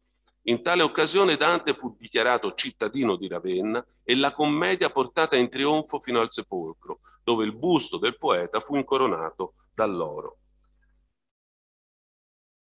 E, altre poi altre eh, cerimonie. Fu senza dubbio da quelle cerimonie di fine Settecento che cominciò la tradizione celebrativa che ancora oggi dura. E vi cito a riguardo ancora eh, una breve citazione di Carlo Dionisotti. Si spiega che il criterio topografico prevalesse allora su quello cronologico, che cioè la celebrazione avvenisse nel luogo dove un grande poeta era nato o morto, indipendentemente dalla ricorrenza della data di nascita o di morte. Era un culto rivoluzionario, promosso da uomini che non avevano tempo da perdere. Come gli alberi della libertà e il calendario repubblicano Così quelle pubbliche celebrazioni miravano a rinnovare un sistema di vita che era, anche nelle città, strettamente regolato dalla religione tradizionale. I santi patroni, qui a Padova lo possiamo dire, erano topograficamente, non cronologicamente caratterizzati. Così i nuovi santi della religione civile e nazionale, i poeti tutte le volte che rileggo queste pagine, devo dire, di Dionisotti, mi appaiono veramente profonde anticipatrici di, di, di, di, ricerche che molti di noi avrebbero intrapreso soltanto, con, soltanto dopo. Ecco.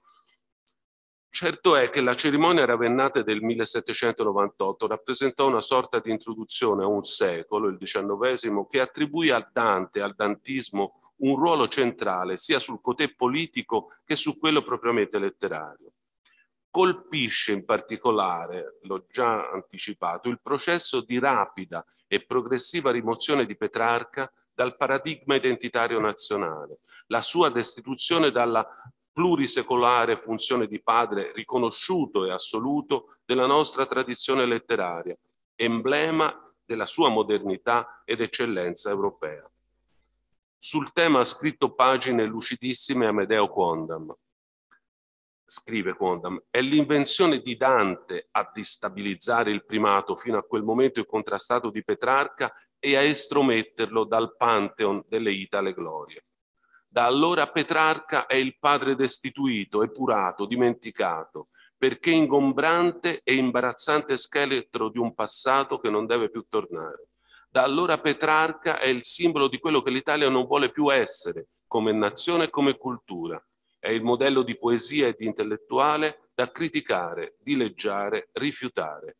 È il simbolo del non italiano. Dall'altra parte Dante appare invece come il poeta civile, il, po- il politico militante e l'intellettuale engagé che ha pagato con l'esilio la difesa a oltranza dei propri ideali. È un modello che si presta a un immediato riuso e consumo, nel quale molti letterati e patrioti italiani di primo Ottocento, specie sul cotè neoghibellino, non faticarono a riconoscersi. Da Foscolo a Mazzini, da Leopardi a Settembrini. Furono loro più di altri a contribuire alla costruzione del mito di Dante come profetico anticipatore di quell'Italia che si accingeva a risorgere e a stabilire una stretta correlazione fra esemplarità di vita ed esemplarità di poesia. Foscolo si applicò in maniera sistematica allo studio e all'interpretazione di Dante negli anni da lui trascorsi in Inghilterra, fra il 1816 e il 1827. Tuttavia la passione per l'autore della commedia risaliva agli anni della giovinezza e ne offre conferma l'ode a Dante, composta fra il 1795 e il 1796 o mio poeta o altissimo signor del sommo canto, eccetera. Foscolo poi consegnò Dante, lo sappiamo tutti, ai versi immortali dei sepolcri, i quali, mandati a memoria di generazione in generazione, avrebbero scolpito nell'immaginario collettivo l'icona imperitura del ghibellin fuggiasco.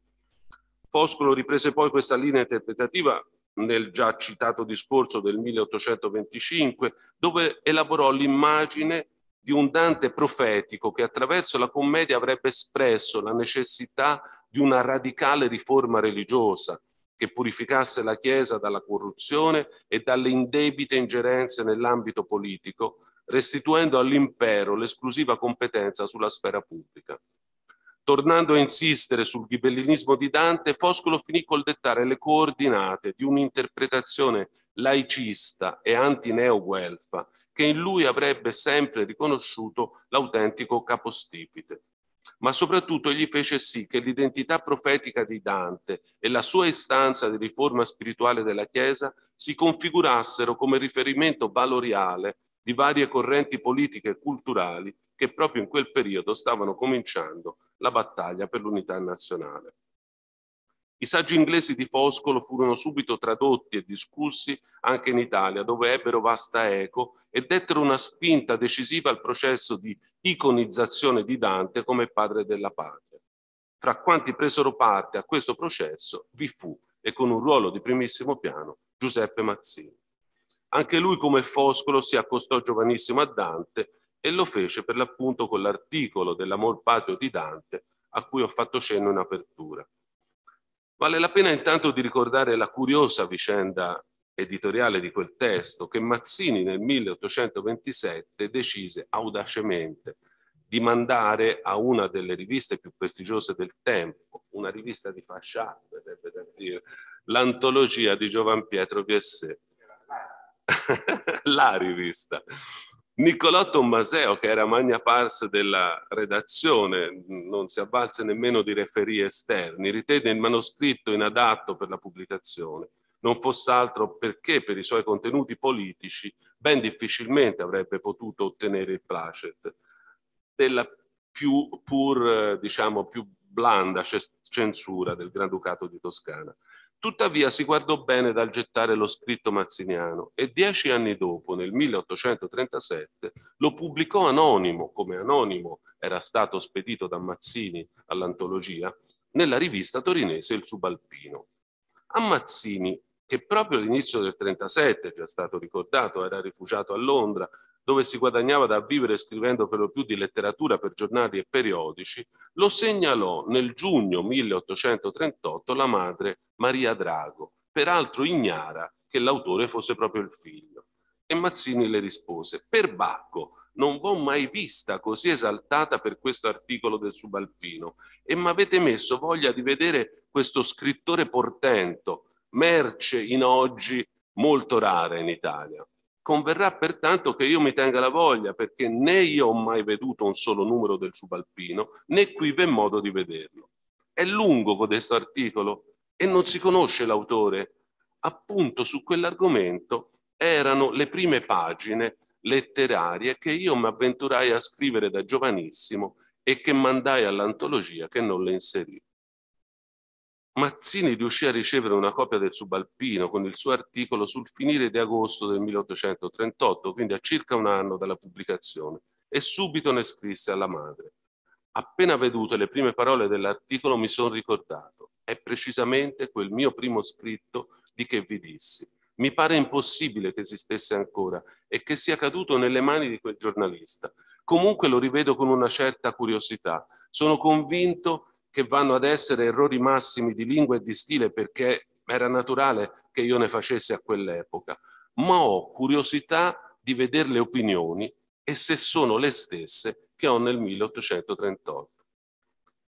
Quale fosse il giudizio che Mazzini dava di questo primo saggio letterario e politico a distanza di una dozzina d'anni dalla sua stesura, lo si ricava da una lettera da lui scritta nel marzo 1839 all'amico Giuseppe Elia Benza.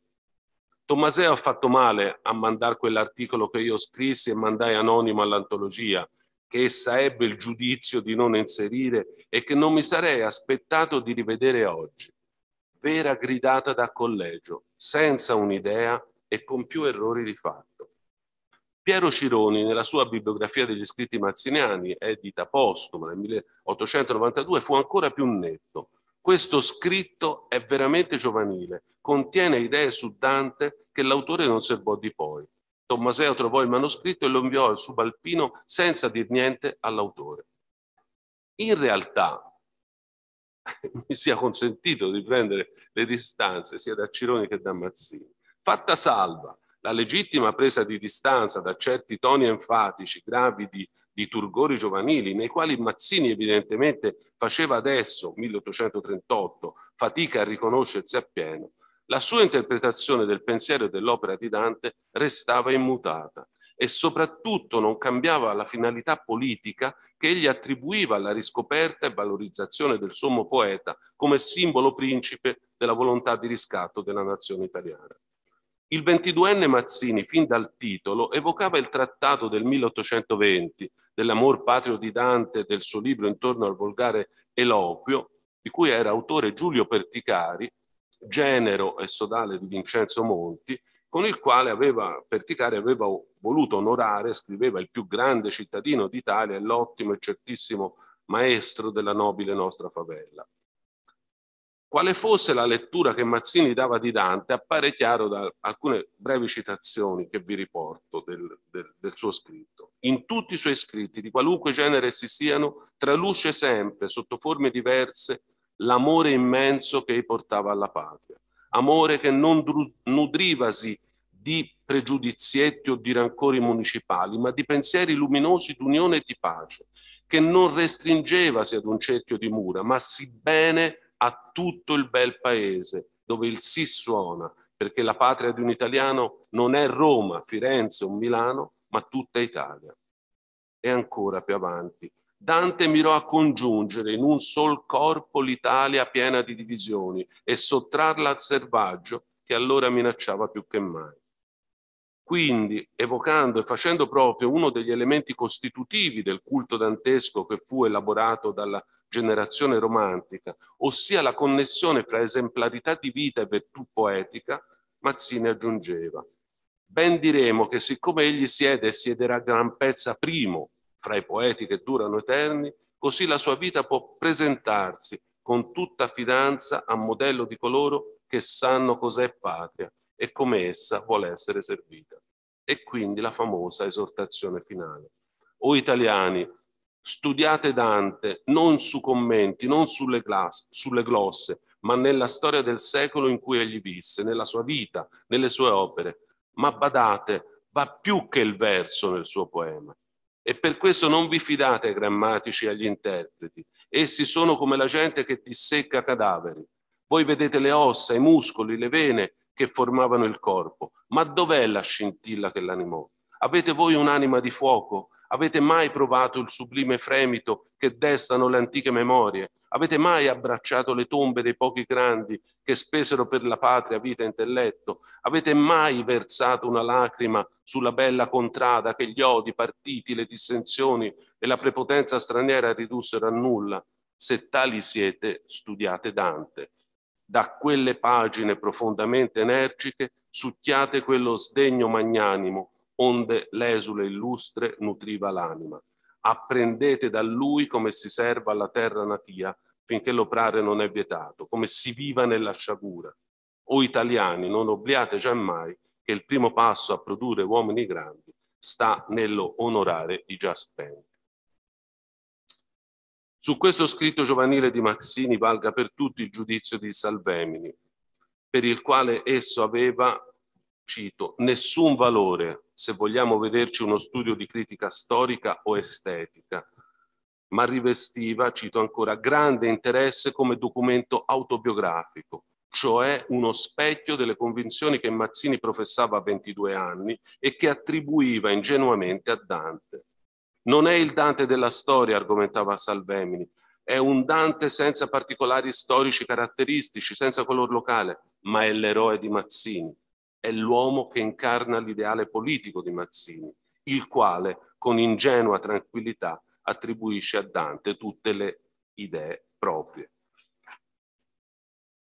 Dal mio punto di vista, condividendo la valutazione di Salvemini, l'articolo del giovane Mazzini ha un interesse formidabile. Ci dimostra con tutta evidenza che fin dal 1827, per uno dei principali artefici del risorgimento nazionale, Dante rappresentava non più soltanto il grande poeta, il creatore della lingua italiana, bensì un mito, un simbolo, una bandiera da sventolare, l'oggetto di culto di una particolare religione politica, la religione della patria.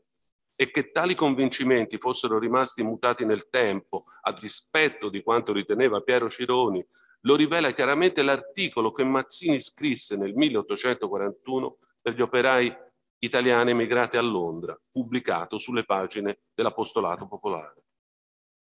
E qui vi cito appunto dall'articolo di Mazzini, chi fu l'uomo il cui nome è fidato alle memorie di tutto un popolo? Che fece egli per la nazione che dopo cinque secoli e mezzo continua ad ammirarlo e a raccontarne il ricordo alle generazioni che verranno?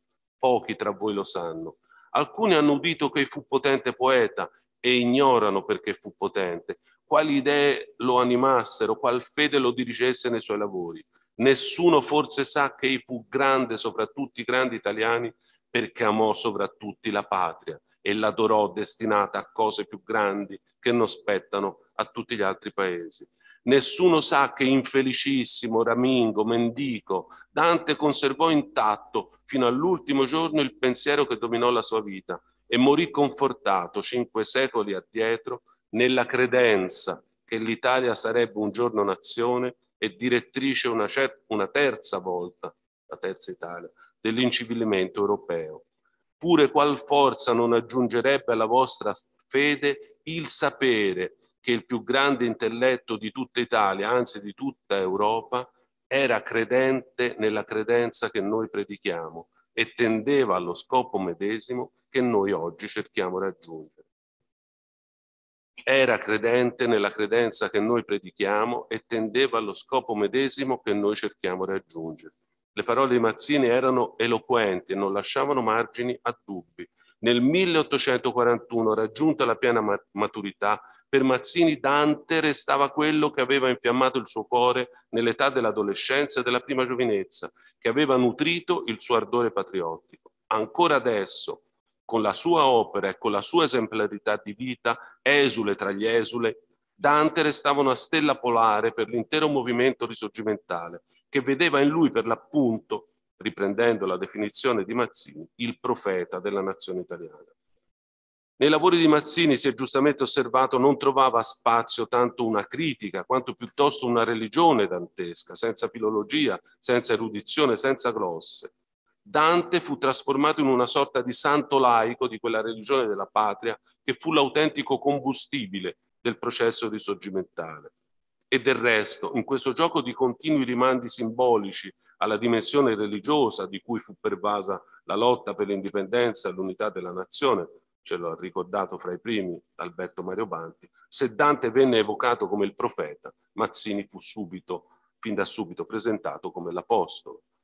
Questo approccio etico-politico caratterizzò anche gli studi successivi che Mazzini dedicò a Dante e soprattutto l'edizione della commedia con i commenti foscoliani, a cui egli lavorò intensamente per circa due anni dopo aver acquistato il manoscritto dal libraio londinese Pickering. I primi due tomi che costrinsero Mazzini a un impegnativo lavoro filologico videro la luce nel 1842 e furono preceduti da una prefazione nella quale egli riconosceva a Foscolo di aver dato inizio al dantismo romantico, a una lettura dell'opera di Dante capace fin finalmente di restituirci insieme al poeta anche l'uomo ai suoi tempi. Foscolo, scrisse Mazzini, condusse la critica sulla via della storia cercò in Dante non solamente il poeta, non solamente il padre della nostra lingua, ma il cittadino, il riformatore, l'apostolo religioso, il profeta della nazione. L'interesse mazziniano per il sommo poeta non si arrestò lì, anzi negli anni immediatamente successivi si estese alla sua intera opera letteraria e sfociò fra l'altro nel saggio dedicato alle opere minori di Dante apparso sulla Foreign Quarterly Review nell'aprile 1844. Dall'insieme dei suoi scritti, ha osservato Giovanni Spadolini, emerge, cito, un'idea del valore di Dante che, mai affrancata dal disegno di redenzione nazionale, tuttavia appare ai nostri occhi come il tramite prezioso fra una tradizione erudita e alta del poema sacro ed una, certo ancora acerba ed embrionale, destinata a una vasta divulgazione e a una più vasta fortuna in quella memoria collettiva che gli intellettuali del risorgimento si apprestavano a portare in dote alla pubblica opinione dell'Italia Unita. Una testimonianza emblematica dell'impatto che gli scritti danteschi di Mazzini ebbero sulla generazione di giovani che muoveva in quegli anni i primi passi nelle organizzazioni patriottiche ci viene offerta da Giovanni Ruffini, il fratello di Jacopo, morto suicida nelle carceri del Palazzo Ducale di Genova dopo l'arresto seguito al fallito moto insurrezionale del giugno 1833. Giovanni Ruffini, che aveva condiviso col fratello l'affiliazione alla Giovine Italia, nel 1853 pubblicò a Edimburgo in lingua inglese un romanzo a sfondo biografico, Lorenzo Benoni, nel quale raccontava l'adolescenza, gli studi, gli amori e l'apprendistato politico di un giovane che, iniziato alla carboneria, restava coinvolto in una congiura e nel suo drammatico epilogo. Nel romanzo Ruffini rappresentò Mazzini sotto i panni di un personaggio, Fantasio, dal nome del protagonista di una commedia di Alfred de Musset. Scrive Ruffini, debbo a lui se ho letto e gustato Dante veramente. Più e più volte, prima di aver fatto la conoscenza di Fantasio, Avevo presa la Divina Commedia con la ferma intenzione di leggerla da cima a fondo, ma presto fui scoraggiato dalle difficoltà. Avevo abbandonato l'impresa, contentandomi solo di leggere quei tratti del gran poema che sono più famosi e più popolari. In una parola, avevo cercato in Dante il solo divertimento. Fantasio mi insegnò a cercarvi il modo di istruirmi e di nobilitare le mie facoltà ed io bevetti a larghi sorsi a quella sorgente di profondi pensieri e di generosi sentimenti. E fin da quel tempo il nome d'Italia, che così spesso ricorre nel poema, diventò sacro per me e destò i palpiti del mio cuore. È una pagina, ci sto chiudendo, no, no, ma ancora, è una pagina davvero eloquente che evidenzia assai bene, attraverso il ricordo romanzato di Ruffini, l'influenza che la lettura mazziniana di Dante come profeta della nazione italiana esercitò sui patrioti della generazione romantica. Ma i canali attraverso i quali si affermò questa peculiare declinazione del mito di Dante furono i più vari e ciascuno di essi raggiunse, raggiunse ambiti sociali e politici diversificati altrimenti non si spiegherebbe come nel giro di pochi anni il sommo poeta riuscì ad affermarsi come il principale simbolo identitario di una nazione, quella italiana che ancora esisteva soltanto nella fervida immaginazione di pochi intellettuali. Un notevole rilievo da questo punto di vista ebbero anche le performance teatrali di quello che negli anni 30 e 40 dell'Ottocento poteva essere considerato il più famoso attore italiano, vale a dire Gustavo Modena. Democratico di accesa fede repubblicana, amico e seguace di Mazzini, Modena nel maggio 1839 portò in scena al Queen's Theatre di Londra, conosciuto poi anche come Italian Opera House, la prima delle sue dantate, una particolare forma di spettacolo che lo vedeva impersonare Dante mentre componeva la Divina Commedia e declamava i versi delle cantiche, accompagnandoli con commenti e riflessioni volti a chiarire il significato dei versi stessi e a renderli accessibili a un pubblico più largo. È quasi superfluo sottolineare che nelle sue dantate, poi replicate con successo nei teatri italiani negli anni seguenti, Gustavo Modena calcò l'accento sul ghibellinismo del poeta esule, facendone strumento da un lato di esaltazione dell'identità nazionale, dall'altro di irrisione del potere temporale della Chiesa. Anche attraverso le performance di un fedele discepolo come Gustavo Modena, Mazzini riuscì dunque a diffondere il mito del poeta fiorentino come visionario anticipatore dell'unità italiana. Nella prima metà dell'Ottocento l'Apostolo si trovò in buona compagnia, da Foscolo a Leopardi a Settembrini, da Balbo a Gioberti, non, non vi fu alcuna famiglia politica che non interpretò l'Alighieri come il più grande degli italiani. Ma certo Mazzini contribuì non poco a far sì che la figura e il mito di Dante si radicassero in profondità nel cuore dei democratici e dei repubblicani, prima che gli eccessi nazionalistici del tardo Ottocento e del primo Novecento lo trasformassero in un simbolo della destra patriottica, riscoperto dai cattolici e guardato con qualche sospetto dai partiti di sinistra. Grazie.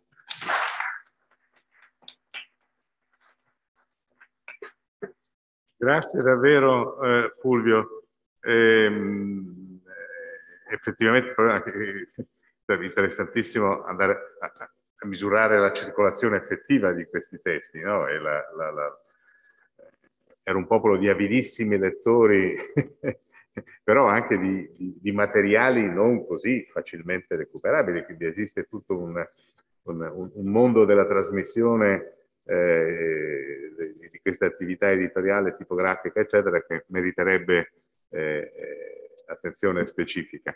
E, e, dunque, il programma prevede adesso una piccola pausa che eh,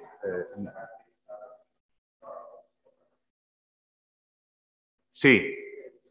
Eh.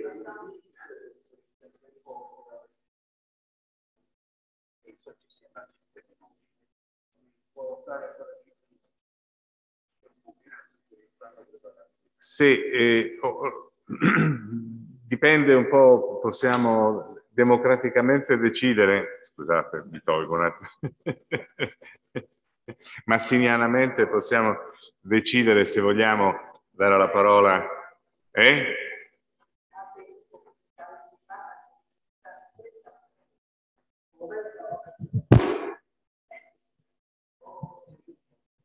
Sì, allora, Stanno se... finendo di preparare. Allora, o apriamo una discussione su queste tre eh, relazioni e poi facciamo la pausa e poi discuteremo la relazione finale. Cominciamo a dire qualcosa. Molto volentieri. Allora, mi, mi, pare che tu abbia desiderio di Grazie.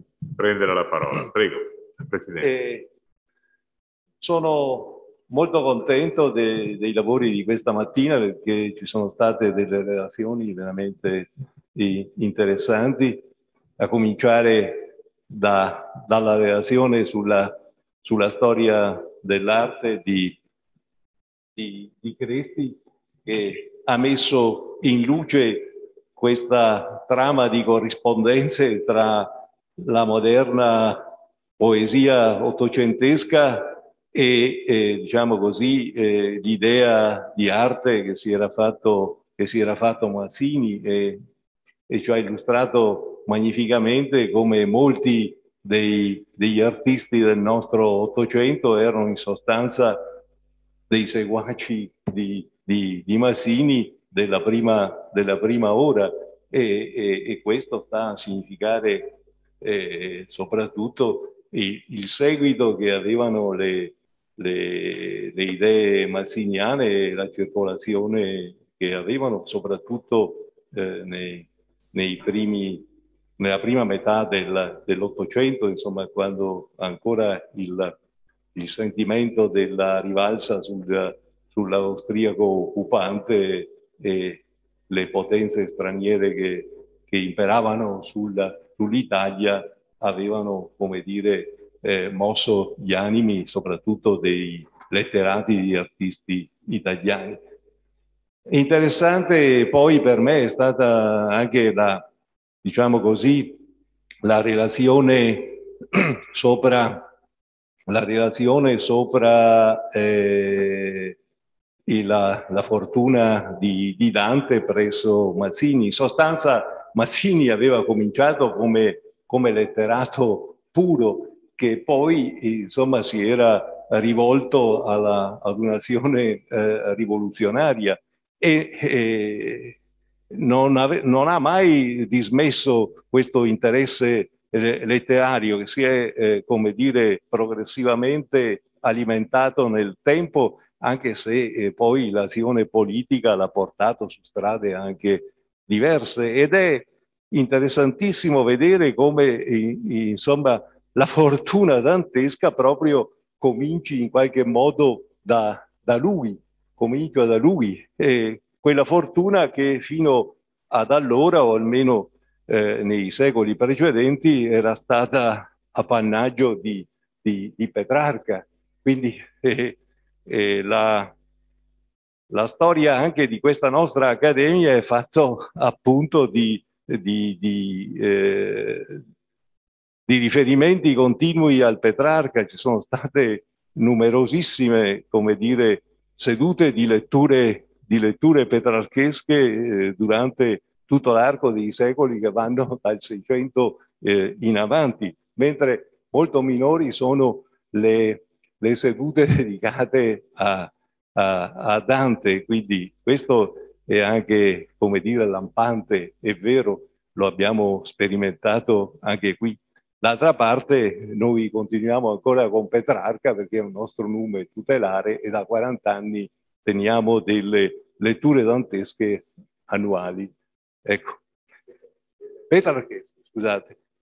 E quello che è interessante è vedere come in questa, in questa dimensione della, diciamo così, della visione di Dante come padre della patria, come fondatore di un'idea di di nazione sia assolutamente disgiunto da, da quell'altro, diciamo, precursore della nostra unità nazionale, che è il Machiavelli.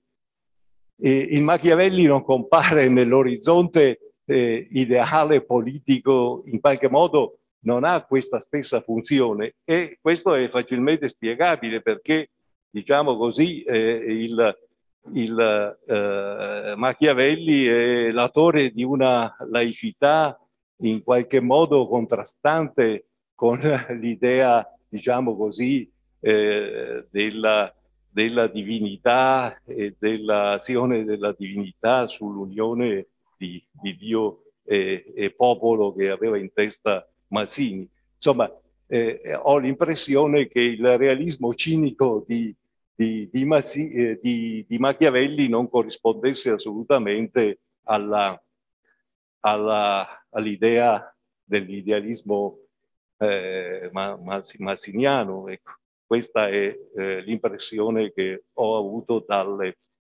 dalle, da questa relazione di, di, Fabio, di Fabio Conti. Ecco, eh, avrei tante altre cosette da, da dire, ma insomma mi, mi limito a questo. Grazie. Grazie Presidente. E, non so se qualcun altro, qualcuno vuole intervenire, prego, Sir Balzani.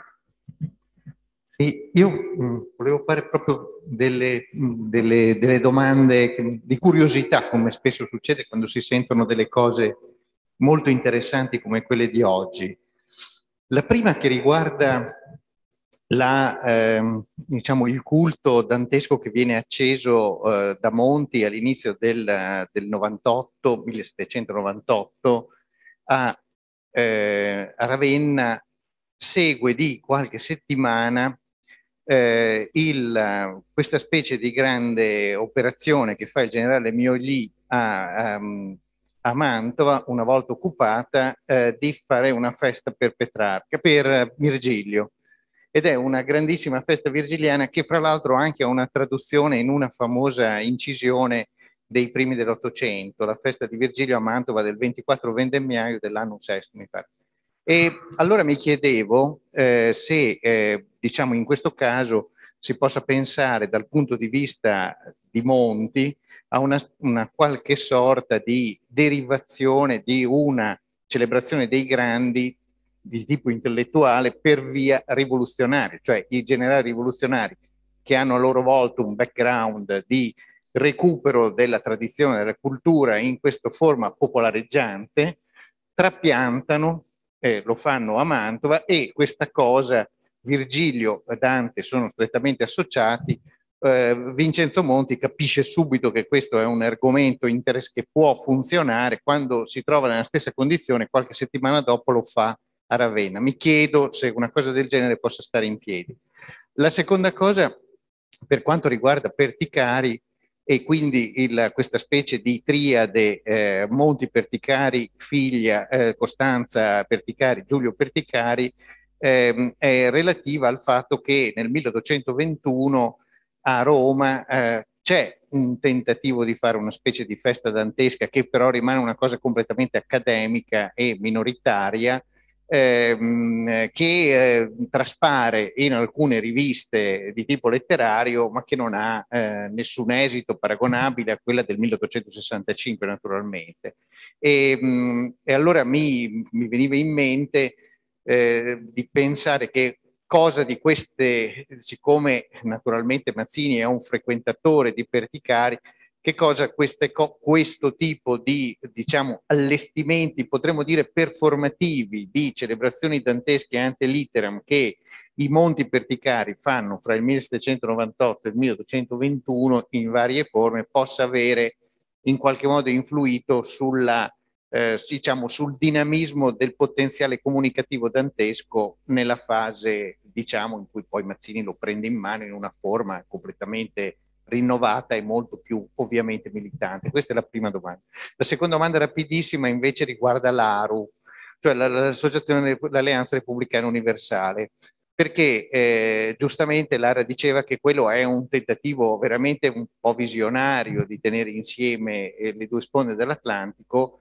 Eh, dal punto di vista delle fonti, almeno quelle che, eh, sulle quali ho studiato, L'ARU a livello locale è sostanzialmente un'associazione parasegreta di tipo ultraradicale che viene vista come il, la componente rivoluzionaria quasi militare dell'organizzazione, dell'organizzazione mazziniana che sopravvive dopo il 66-67.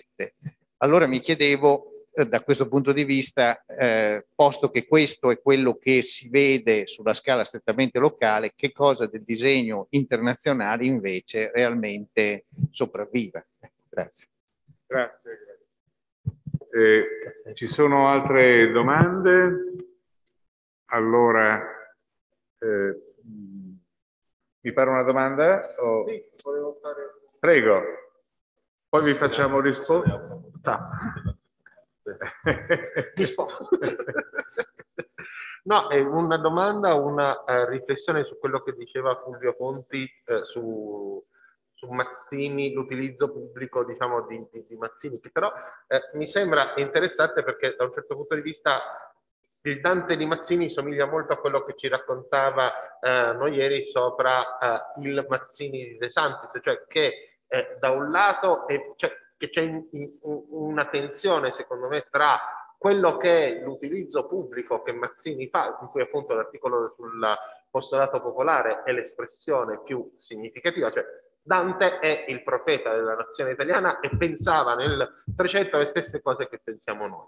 E dall'altro il fatto che poi lui contemporaneamente lavora a quello che comunque è uno studio, come dicevi anche tu, filologicamente è piuttosto serio e faticoso. Cioè, nei quattro volumi non solo il primo è tutto dedicato al commento, ma il quarto volume è un lunghissimo elenco di variazioni, di, eh, di, varia di varianti appunto del, diversi della Divina Commedia. Quindi è anche tutto sommato anche dell'amor patrio di Dante. In realtà non solo si conclude con un invito ad uno studio che potremmo dire tipo storico-filologico, ma in realtà la parte che tu hai letto sul eh, Dante che trascende le, le mura cittadine era preceduta anche di fatto dalla descrizione del Dante invece pienamente calato nelle lotte, perché lui poi risponde alla critica che Dante non è un poeta patrio perché in realtà denuncia appunto, le, le, cioè parla male di Firenze. Lui dice sì, parla male di Firenze proprio perché amava Firenze, però è pienamente uomo di parte. In questo senso in qualche modo appunto c'è l'idea che Dante va storicizzato, anche se, cioè, se, mi sembra che ci sia una tensione tra queste due, eh, due letture di Mazzini. Eh, io proporrei di raccogliere queste domande, eh, tenerle a conto, il caldo, il caffè caldo, che è più importante. Grazie. Oh.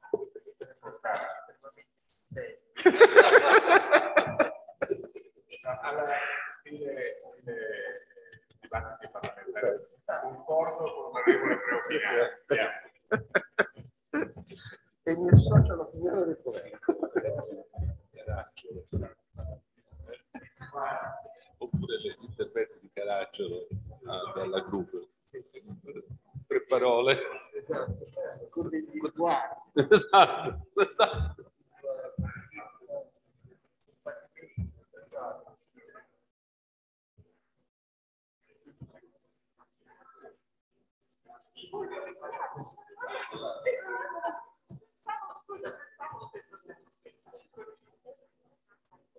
or not.